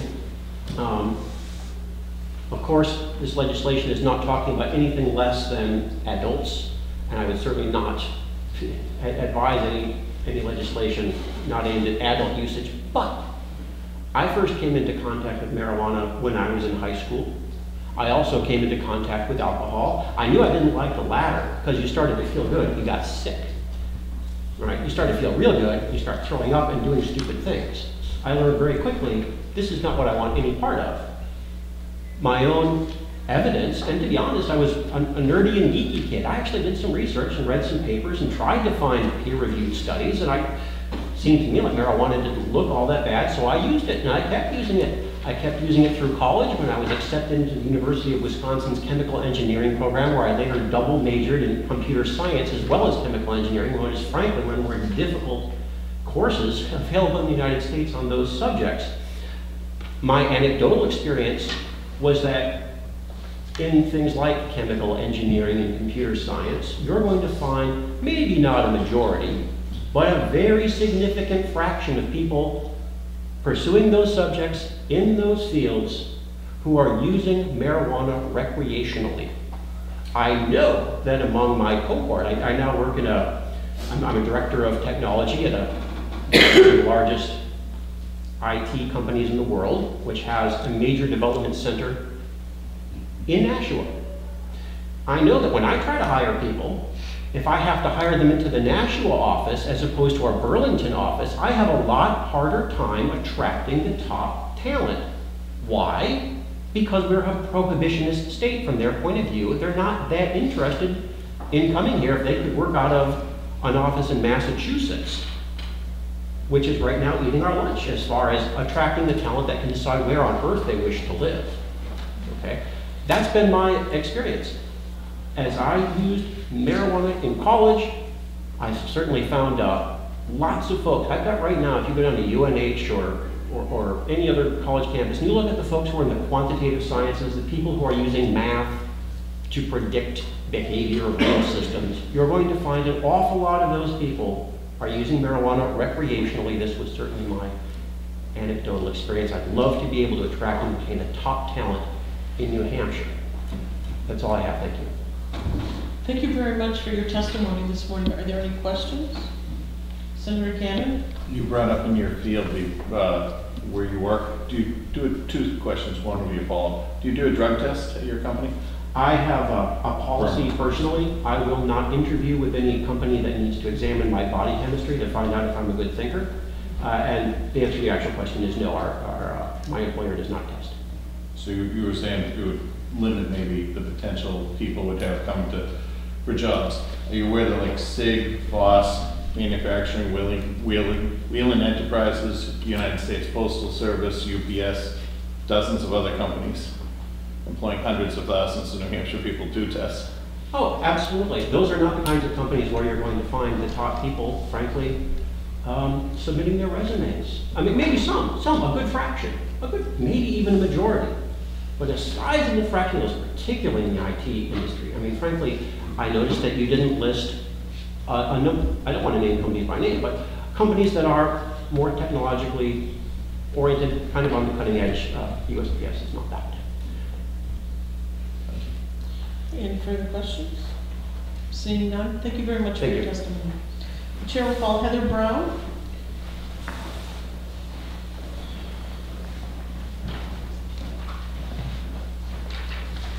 Hello, how are all of you today? Um, For the record, uh, my name is Heather Marie Brown. I'm a uh, resident of Barnstead and have been a lifelong resident of New Hampshire. I not only represent myself, but I also uh, represent a small group called New Hampshire Cannabis Advocacy and Education. Um, I'm here because I do support this bill. I support anything that has New Hampshire moving forward. Um, in my own personal experience, I can actually answer a question that you had earlier. As far as uh, cannabis testing goes, um, the only real accurate way to determine whether a person has active THC in their system is to do a blood test. No matter what, if a person uses cannabis for a significant amount of time through a urine test or even a hair test, it will indicate that there's cannabis present. But there is a huge difference between active THC and inactive THC. A blood test is a way to determine whether it is active or inactive. And even then, a blood test cannot accurately pinpoint the exact time or date of usage. It can put it within a day, within two days, but it cannot pinpoint it within, and say within the last 10 minutes, this person used cannabis. It's just not that accurate, but it can indicate whether or not there is active or inactive THC. The reason I know this, my other half was arrested for cannabis possession here in New Hampshire. He was put on pretrial services. Because of that, he was required to go in for weekly urine tests. He uh, failed the urine tests repeatedly, even though he was not consuming cannabis. The courts wanted to throw him in jail. We actually had to convince the court and his lawyer to fight for us to be able to have blood testing done. Blood testing was the only way my other half was able to stay out of jail. If it had not been for the blood test, he would have been incarcerated, he would have been costing the state of New Hampshire more money, and, and he would have become a burden on the state. So I am grateful that we were able to fight for that and have that done in our particular situation. In my own situation, I do not qualify under the current medical um, definitions for usage in the state of New Hampshire. Maybe if some of these other bills pass, that will change, but as of right now, I don't. Um, it doesn't change what I do for myself health-wise. And what I do for myself health-wise is not put poisonous and dangerous chemicals that cause my liver to fail, my heart to fail, and my kidneys not to function correctly. Which unfortunately, until I discovered cannabis, was something I had to live with on an everyday basis. At one point in time, I was on approximately, and you're going to find this outrageous, but I can provide medical records to back it up if I need to in the future. Um, I was on approximately 50,000 milligrams of medication a day. Over 25 pills were given to me as a teenager to help with my medical conditions. It left me at about 400 pounds, completely unable to do anything except for sit in a chair and drool on myself. I had no life. It, it was horrible. Um, my quality of life was, was absolutely ridiculous. I, it, I had none. I had no future. I was, my, my parents prepared for my death. They expected me to be dead by the age of 18. I am 39 years old, and I have three children, which is something else I was told I would never be able to do, was conceive children. Uh, I've done some research. I've learned about the cannabinoid system. I am a true believer that the only reason I was able to become a mother was because of my cannabis usage, was because I replaced a missing chemical within my body that is already naturally produced. I believe legalization is an effort that New Hampshire needs to take for several different reasons. A, I believe that it is going to improve, the quality of life for, oh, I would say probably at least 60% of the citizens. I would also like to point out that the financial gain that, that the state has that, that could be made from this is a, is a very large amount. And, uh, in Colorado, I, I will point out, I, do hope that you guys are able to fact check some of these statements that are made to you today because there are studies out there that indicate uh, to the contrary of some of the information that was presented here today. Uh, Colorado took in approximately $70 million in tax revenue. Um, another, that while they only took in approximately 42 million in alcohol sales, because with alcohol sales, they declined once legalization happened. To me, that's a wonderful thing. Alcohol kills people. Tobacco kills people. New Hampshire makes a butt ton of money off of alcohol. In fact, I think we make some, uh, we have some of the largest revenues in the United States as far as alcohol revenue goes, which I find absolutely disgusting.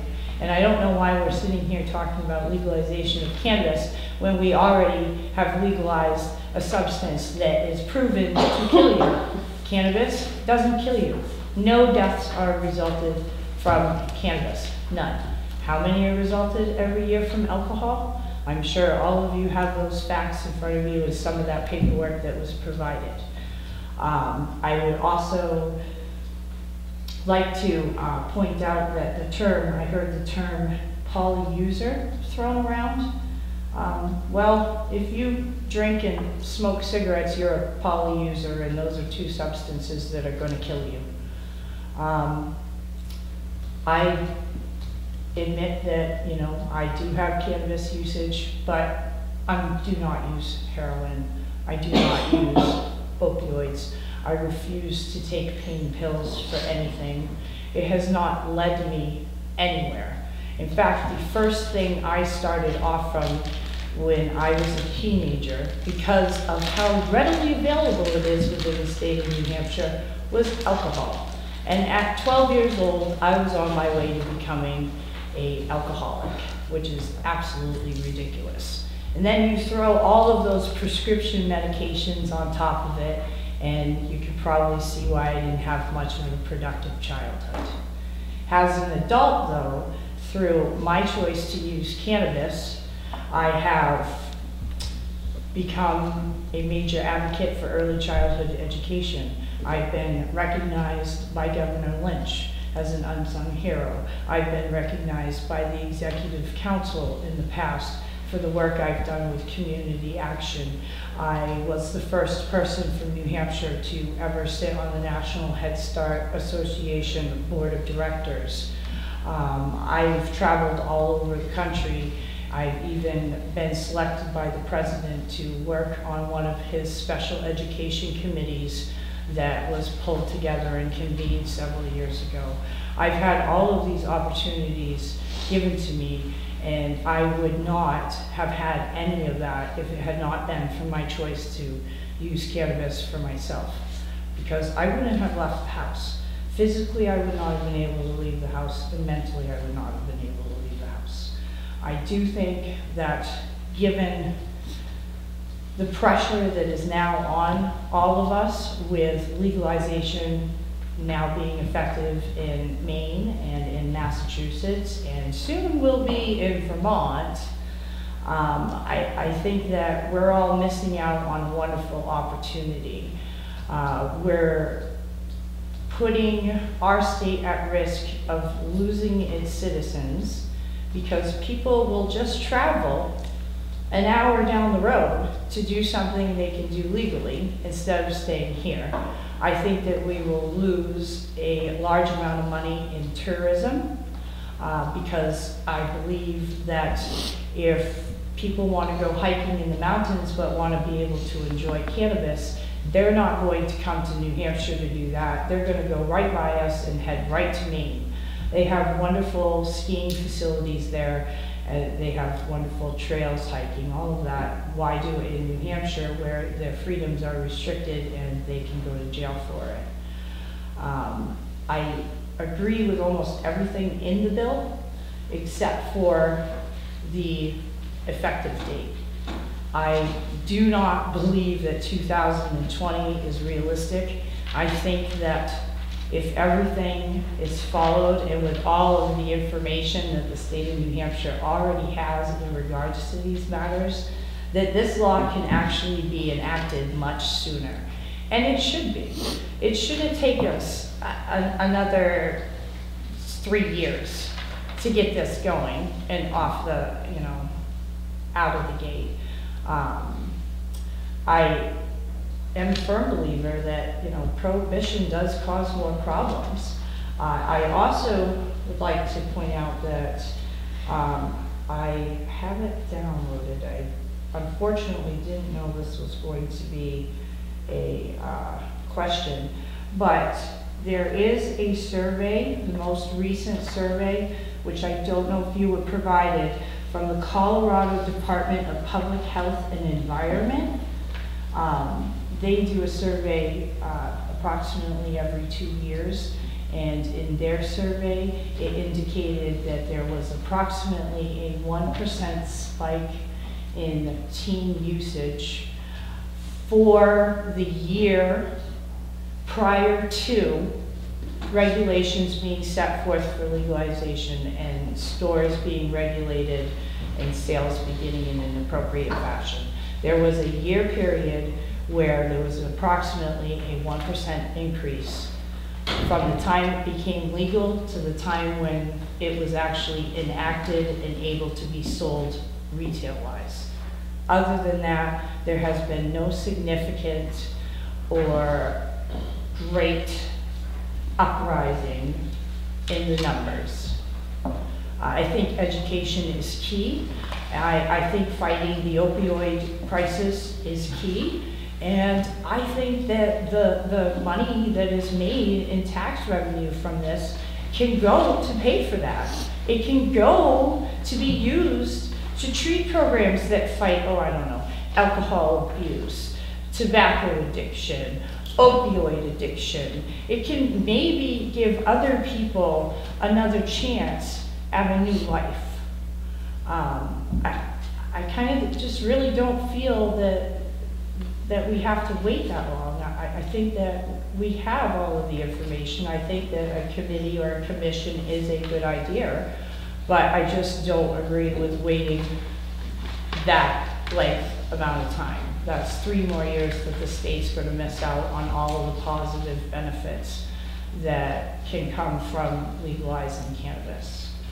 Um, I also just want to point out that there is a study, unfortunately it's in a video, so I didn't want to play it to get the name, uh, but there is a study that News Channel 13 uh, had reported on that does indicate that there was a decrease in traffic incidences involving cannabis users. Um, I don't represent anything big or fancy, so I can probably say this and get away with it. But I can tell you that when a person consumes cannabis, normally they're not thinking about where they're going to be driving. they're thinking about what's coming on next on the television. What kind of snacks do I have in the fridge? Um, am I, it, it's, if a person is under the influence of cannabis and they have smoked too much cannabis, you still have enough common sense and wits about you to actually not get behind the wheel and drive. Unlike the effects of alcohol, where, um, you ever heard the term beer muscles uh, or beer goggles? Uh, those expressions, that's because it doesn't matter whether you have one beer, three beers, four beers, 12 beers you're gonna think you're fine. That's where those videos of you dancing on the table with the lampshades come out because you thought you were actually Fred Astaire and Ginger. Um, you know, so I, I just, I feel that legalization is the next step. I, I support the bill. I, I support legalization. I, I do, although disagree with that date and believe that the date should be sooner. Um, and I also would strongly recommend that some of the information you were provided today by certain opposing individuals, that you have fact checked. Because the information they're providing you may not necessarily be the most accurate and up-to-date information. Uh, we heard testimony from Mr. Simon about a study that's most commonly used when it comes to uh, cannabis legislation we already know that that's just a big giant piece of propaganda. I don't want to see any of you get sucked in by propaganda. And I think that um, bias and stereotyping have absolutely no place with cannabis. Um, okay. Well, so I thank you very much. Sorry if I was stressing you out, but Oh, I no, no, appreciate I'm- the I'm just looking, we could be out of this room at noon, and there are other people that would Yeah, like to no. speak, so. I appreciate it. Thank you very much for your testimony. Questions? Seeing none, thank you. I'd just like to announce, we have to be out of this room in, at noon, and that gives us 25 minutes. And there are one, two, three, four, five people who would like to speak, who have signed up to speak. So, um, please be cognizant of the time. We've heard a lot of testimony this morning, and we ask you again, please do not repeat testimony that has already been given. Uh, The next person is Ian Freeman.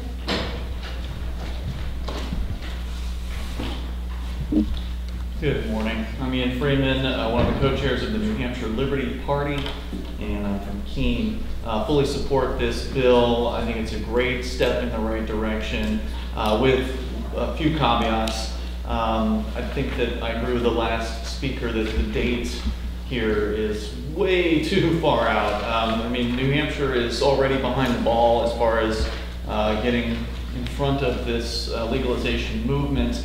New Hampshire should be the first state that passes legalization through the legislature. That hasn't happened yet uh, across the United States. It's all been uh, voter referendums. As you know, we don't have that here in New Hampshire. So for the legislature to move this forward, I think it's very important to become the first state where uh, marijuana is uh, either decriminalized or legalized to beat Massachusetts and Maine to the punch, I think would be very, very good. So to have this go into effect as soon as it is uh, passed, if it's passed, uh, I think would be ideal rather than continuing to wait as in that three-year time frame till 2020, uh, the police, of course, will continue to enforce, as we've seen in other states, the police continue to enforce prohibition until the very last moment uh, when they have to stop. And you know, we don't need to see any more of our uh, people going to jail, going to prison for possession of these, what are basically flowers. Um, so yeah, definitely change the date. Also, um, why age 21? I mean, 18-year-olds are able to join the military. 18-year-olds are able to make all kinds of legal decisions for themselves. Uh, if anything, the number should be reduced to 16 on this bill. Uh, 16 is the age of consent in New Hampshire, and I, of course, also support re uh, reducing ages for alcohol as well. We already know teenagers can get as much marijuana as they want to, um, and in fact, studies have certainly shown, uh, interviews of teenagers have shown that it's easier for them to get marijuana than it is to get alcohol. And that's because there are actually more controls due to the legal status of alcohol on the availability of that. So let's be realistic and not treat our teens and young 20s somethings as though they are criminals. They're not. Um, as one of the speakers earlier pointed out, he was in college and he was doing just fine uh, using cannabis.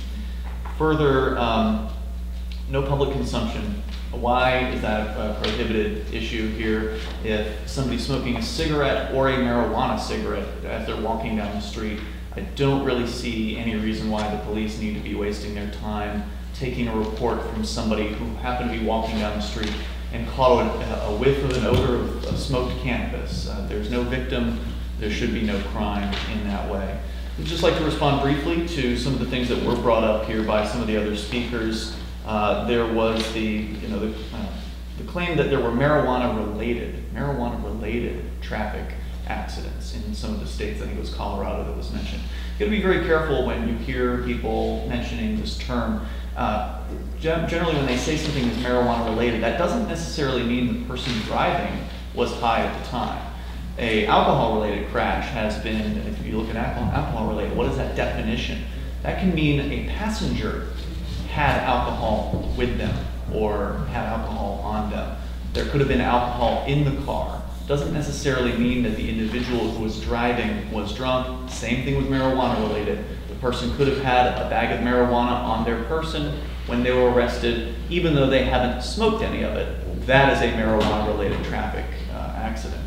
Further, uh, to test positive for impairment, uh, that's not necessarily true either. Just because someone tests for cannabis or tests for THC in their blood doesn't mean they've used it in the last four hours. Your general uh, time frame as far as getting stoned is going to be probably no more than four hours, six if you're an unusual uh, specimen. So if it's the next day, that person is in no way impaired by the use of the marijuana from the previous day. In no way. But they'll still test as though they have THC in their system. In fact, they can test that way for, in some cases, as many as three or four weeks after uh, the use of the cannabis. So I have serious questions about some of the, the studies that were being thrown up here uh, as so-called evidence. Um, we've also heard about the heroin crisis in uh, New Hampshire, and I think everybody knows that's a real thing. I had a roommate when I lived down in Florida who was addicted to opiates. He was shooting them up. He had uh, access illegally, of course, to oxycodones that he was shooting up, and he ended up using cannabis to get off of heroin. He called it the marijuana maintenance program, and it worked for him. It gave him something else to do to get high that wasn't as severe and impairing as the use of heroin. And obviously that's a, uh, you know, a case study, but nonetheless it helped him, and I know others that uh, it has helped as well. So uh, beyond that, there was also an interesting, uh, just after Washington State legalized it a few years ago, one of the news channels had a really interesting, um, I guess you can't really call it a study, but news, news package that they put together where they got, uh, they had a closed course, so for driving. They had uh, people who were going to drink and people who were going to smoke cannabis. And what they did was they had them drink one drink, or they, they had them drive around the course, sort of, you know, do you knock any cones over? How'd you do? They had a drink drive around the course, had another drink, drive around the course. And so they, they just kept going, you know, to see how many drinks before people started to make some serious errors. And they did, did the same thing with smoked cannabis. You know, smoking one, uh, one bowl, then driving around, smoking another one. And, and what was interesting was the cannabis users at one point, after, I don't know, two or so smoking sessions, they actually said, Really feel, even though they were on a closed course, they said, I don't really feel like I should be driving at this point. And whereas the alcohol drinkers were like, woo, let's go, you know, get in the car, like, we're driving just fine. So there is definitely a, uh, an ability for the cannabis user to determine that they are impaired, that the alcohol user doesn't have. Um, so I just wanted to share that with you. I'm happy to answer any questions. I've had a lot of experience in uh, the underground, in the, uh, pro, the world of prohibition, knowing a lot of people who have violated these, these laws. And uh, so if you have any questions, I'm happy to help. Thank you for your testimony. Are there any questions? Seeing none, thank you. The chair will call Rick Naya. Please, sir, we have 15 minutes left. If you could please be very, very brief. Thank you, Madam Chair. Thank you, committee. My name is Rick Naya. I'm the Executive Director of New Hampshire NORML, New Hampshire Cannabis Company, and I own several cannabis production facilities in Colorado and as well as California, and hoping to expand into Maine. Uh, I'm in favor of the bill. Uh, There are a few things in it I would like to bring up that I don't like.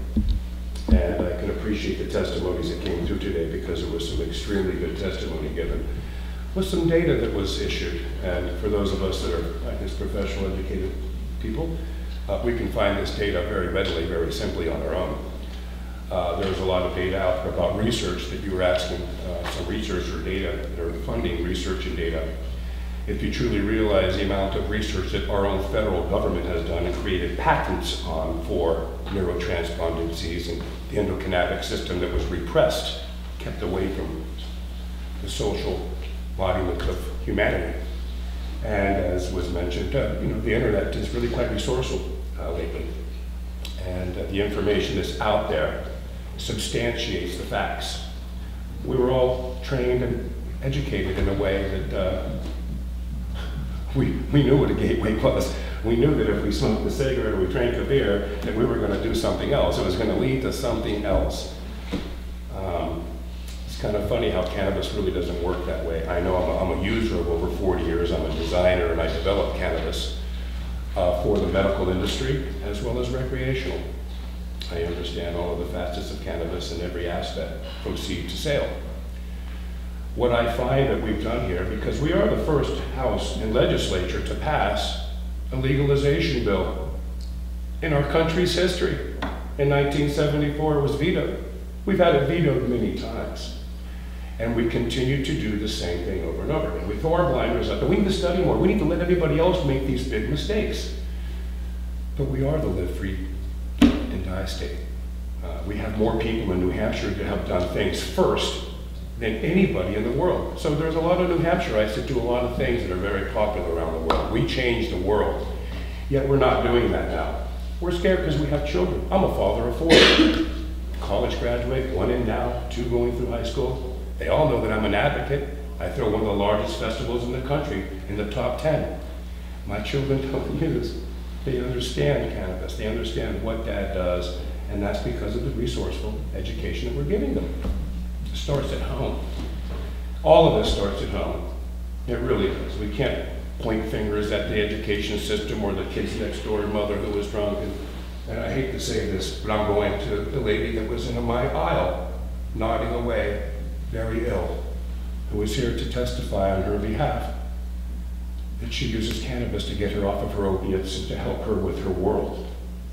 Um, I have to admit that it's time that New Hampshire step forward. We can't stop trying to think that being so is helping us progress in the, the movement in a direction that 69% of our state citizens want us to go in. When seventy percent of the people of your state are asking you to do something when you're elected, that's what you're elected to do, to move forward in the most conscientious manner for the people who elected you to do that. It's not a personal thing any longer. We have to look at the embodiment of us all. That's something that we haven't done. We continue to put our head in the sand and ignore things. I help write regulations and rules and laws for the medical program. I'm very excited as the way that it moved, a little slowly for me, a lot of constraints, this 90-day program. There's a lot of things that can, should have changed. It would have helped the industry, the medical industry here in New Hampshire, which is having a little bit of difficulty.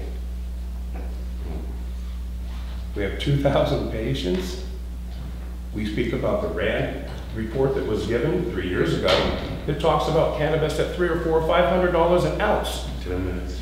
Funny thing is, is that the states that are surrounding us now are developing and growing cannabis at a larger scale. The prices are starting to go down, just like Colorado's hundred billion dollar industry. In the next year or two, Colorado will suffer the same fate as many of the other states that are out there. It's not going to be a big thing anymore. It's going to be part of everyday life, like controlled alcohol and tobacco. We've educated our children quite well about those dangers. One problem that we face is that we've been lied to for so long that cannabis is this evil Scrooge. It's not true. It's a health and wellness thing. That's why we decided to make it medical first. Let's study to see what happens elsewhere. I kind of find that odd that after almost 45 years of you know, graduating and owning businesses and being directors in a, number of different industries, in fact, I own one of the largest transportation trucking companies in the world. I'm uh, very perplexed at how we're moving, and I hope that the, that the Senate and, and this committee begins to start moving forward with the committee that we're going to found and we're developing to help write laws, to help regulate New Hampshire sooner than later. We're losing our children to jobs and opportunities in other states. Our economic resources are leaving the state by the hundreds of millions. I know, we're not investing it in other states when I should be doing it here. So please take this into consideration. New Hampshire needs to be a newer New Hampshire. We can't continue to go down the same path we have because it's done nothing but affect our children's opportunities those children that get arrested, that have the problems with alcohol and opiates, this whole thing that was driven by pharma, the problems that we've created because we were lied to. It's time to make that change and create a new New Hampshire. And uh, I look forward to being part of that process, and thank you very much. Thank you for your testimony. Are there any questions? Seeing none, thank you. Okay, thank you. Um, the chair will call Alan James. You mean Colin James? It looks like Alan. Oh, I'm sorry. My name's Colin James. I'll be happy to testify. in Okay, Alan you've got a James few court. minutes. Yeah. I'll be brief. Yes, So, you are. my name's Colin James. You can call me CJ if that's easier for you to remember. Um, yeah, I, I agree with most of the, peop- the vast majority of people that have already spoken. I disagree with the very select few who are in favor of, of not passing the bill. Um, to be honest though, I, the, I mean, I, I support the bill, but there are a lot of things about it that I disagree with. I don't think the government has any right to tell anyone how much marijuana they can possess. I don't think they have any right to tell anyone how many plants they can possess in their house. I think that's all wrong. Um, yeah, but at least it's a step in the right direction. Um, it's much better than caging innocent people. I was unfortunate enough to be arrested for possession of marijuana recently, back in September, on my way to work. Um, on my way to work to Guitar Center in Nashua, and uh, unfortunately, um, my car was seized, so I couldn't get to work. And then uh, a few days later, I was given a call by uh, Officer Callanan of the New Hampshire State Police to come to the barracks to arrest me. Um, which I, I don't think I need to really need to point out the irony of the situation that the government, you know, claims that marijuana is this bad thing, but really it was the government that prevented me from getting to work that day. So um, I think the best thing to do is just pass the bill. Um, you know, all the details that I disagree with, hopefully further legislations can fix those other little problems, and then we can uh, we can just stop hurting our neighbors and uh, Yeah, you know, I mean, I spent a lot of time in, in NA too. I think it was Ian that said something about the, uh, uh, the the marijuana maintenance program. Yeah, the burn program is, is pretty effective in, in Narcotics Anonymous. There a lot of people that go to NA that are trying to, to quit opiates and, and are successful with it using cannabis as a, as a replacement. So, um, yeah, I just really agree, I agree with all those things. I think, I think that marijuana is really not the monster that the government's made it out to be for, you know, almost a century now, so. uh, It's just time, time to legalize it, so, thanks. Thank Thank you you. very much for your testimony. Mr. Hajar, you are the last person who signed up, so guess who gets to go last? I had trouble getting up out of bed early this morning. Uh, Good morning, still morning, thank you. Everybody here is still on my thunder because I'm sitting there thinking about a hundred different things I could talk about. Let me just limit it to two. I think laws should be respected. I think if you're gonna pass a law, it should be respected, and it should be respected if it makes sense. Prohibitions against cannabis make no sense. And as a result, you've got thousands of people who have no respect for the law whatsoever. I've got 50 years, you want to talk about studies? 50 years, age 17 to age 67, of constant use of marijuana, and as the senator will know, even though we very rarely agree politically, I've got 25 years of very productive experience in my community, elected to the budget committee, the zoning board, ch- uh, board of directors of Little League, uh, charter commission, yada, yada, yada, coach kids, raise kids, the whole shooting match, while smoking pot every day. Every day. And nobody knew the difference. So I don't want to hear any of this crap about what it does to you. It doesn't do anything to you. I've only had two accidents in my life that were not, did not include another car. Those were both under the influence of alcohol. You folks are presiding over the largest drug dealer in the state of New Hampshire, and that is the state of New Hampshire. The state has been preying upon the people of other states for years and years for the purpose of balancing its budget on alcohol and tobacco. That's hypocrisy. And unless you're prepared to pass legislation banning the use of alcohol and tobacco, you have no logical standing as far as banning the use of by far, by far, the least deleterious of these substances. I have personal experience. I don't know if that counts for as much as some of these other studies, but I can tell you, and I can tell you that you and I both know a lot of people in Londonderry who are regular users of marijuana, who are chemists, engineers, firemen, salesmen, you name it, they're doing it. So why don't we stop the hypocrisy? Why don't we get it out of the closet? And why don't we take away the risk of people having their lives ruined over a law that is much worse for them than the drug that's meant to prevent? prevent? That's about it. Any questions? Thank you very much, Senator Lasky. Thank You you. provoked a question. Oh. Go ahead. I don't mean to get You you know, in this is trouble. not the first time. I know. I'm sorry, sir, I don't mean, good morning, I don't mean to get you in trouble. Um, No, I, I can't get in trouble. I'm too old to get in trouble now. Oh, no, no, no, no, no. Oh, no. Oh, no. It doesn't work that way. Um, you know, I think, okay, what would you say to the person who says we are in the middle of an opioid crisis, a serious drug No crisis? connection. Okay, I guess. Talk to Pfizer. So that, that. Talk to Pfizer. They're the ones that are, that are uh, contributing to anti-marijuana legislation all over the country. It's the legal pharmaceutical companies who don't want competition. They just found $500,000 in Arizona by two drug companies trying to fight against legalization of marijuana. So. No connection. Uh, Just, just to clarify, you're saying, you know, again, it's a a misinterpretation, it is not a gateway. Drug. Absolutely. Gateway drug, I started at 17. I was a beer drinker. I shouldn't have even been a beer drinker, but it was cool to be a beer drinker. Then my cousin came back from Vietnam with some marijuana. He said, you ought to try this. I said, no thanks, I'm a beer drinker. He gave me some, I liked it, I stopped drinking beer. I hardly ever drink. I don't drink, I don't like alcohol. Thank you for the alternative. Thank you, thank you for answering my question. Senator French? Thank you, Madam Chair. Maybe you could clarify for me.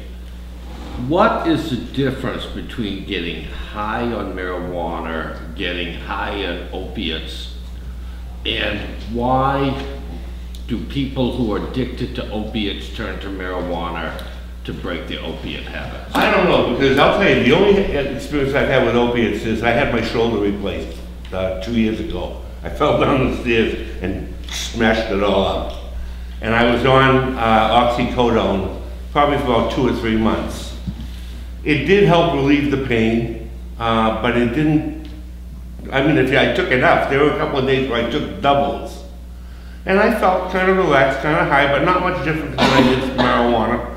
And as soon as uh, the pain started to go away, I let the uh, prescription run out, and I really had no interest in doing more, but I, I was cognizant of the potential, and I was very nervous about it. In other words, okay, let's stop. I don't need it anymore. And I think that's the way most people are about it, but I think you have to also look at the sociological. What do, what do people that are hopeless do with their lives? What are people who have had no education, who don't have parents, who don't have jobs, who have time on their hands? What are they supposed to do? They're going to turn to something. So if you want to clear, cure the opioid crisis in New Hampshire, what you need to do is give people more opportunities and give them more support. People, no, nobody consciously becomes an addict. Nobody sits down and says, you know, I'm going to just start doing this for a while so that I can get addicted, lose my job, and start stealing from my friends and parents. Nobody starts that way. Yet we demonize them. And we demonize them over a drug that was sold, when it was sold 20 years ago, first uh, in, invented, was sold as non-addictive. And they knew it was addictive. So maybe we should be paying more, more attention to the guys in the suits. All set? Yeah, thank you. Uh, Senator Gainer? Thank you very much, Mr. Kaiser. 12 o'clock. I knew you would be on time. Okay, um, just last call, anybody else want to speak? My name was on the list, but it wasn't all. You have two minutes. Can you do, can you do two minutes? Well, considering it's my first time to ever do. Last call. I know, I know. If, if she wants to speak, she wants to speak. Madam Chair, and committee. Hi, my name is Lisa Powers. I'm a registered nurse with a master's degree in informatics, and I'm a mother. I started this journey about a year ago, and I was where a lot of people in prohibition are today. I did not agree with everybody smoking pot or cannabis. But um, my son has epilepsy. He's an adult child, but he's still my son, and I'm still his mother. Um, we proceeded to find a treatment for him as modern medicine would not. So we went through the medical cannabis program here in New Hampshire. That was not easy. He was at that practice for about four years, and they still made him wait three more months. And with each seizure, it was an increased risk of death. And uh, as a mother, I've had a lot of tearful nights and a lot of feeling defeated by our government. And I also studied natural herbs over the summer to keep my mind busy, and I discovered that cannabis is just another plant. And then my eyes just opened up to the prohibition lies from when I was, I was born in 62, so I'm getting up there, but my eyes have opened up to what this plant really is and what it does. And sure, we're not going to stop the kids from using it, but we can educate them like I did mine. None of them tried it. They didn't even drink, and they're in their 20s now. Now I'm pushing drugs on them, which is kind of weird, but as a nurse, I know that this helps my son who has epilepsy. And we finally got the card. We started in August. We had to wait until January to get it. That was a momentous moment in my life, a lot of tears. We went to the dispensary. They didn't have anything for him. We're only allowed to go to one. I picked the one by his house in Dover because it's a couple miles from him, and he's a, um, a fully employed professional. He's a software engineer, and he's trying to be a taxpayer and just a regular guy. Very nice, sweet young man. We couldn't get any medicine. That was not going to stop me. I, there's this whole network, and I'm involved in it now, and I'm not going to go back. I'm, I feel like a criminal, but I'm not. I'm a mother who cares, and I think it should be legalized and regulated, of course, and lots of education for the youth, please. Okay. Thank you very much for your testimony. Questions? Nope, thank you very much. We're going to go ahead and close the public hearing on Senate Bill 233. One executive. No, no, Senator uh, Hennessey isn't here. No, I was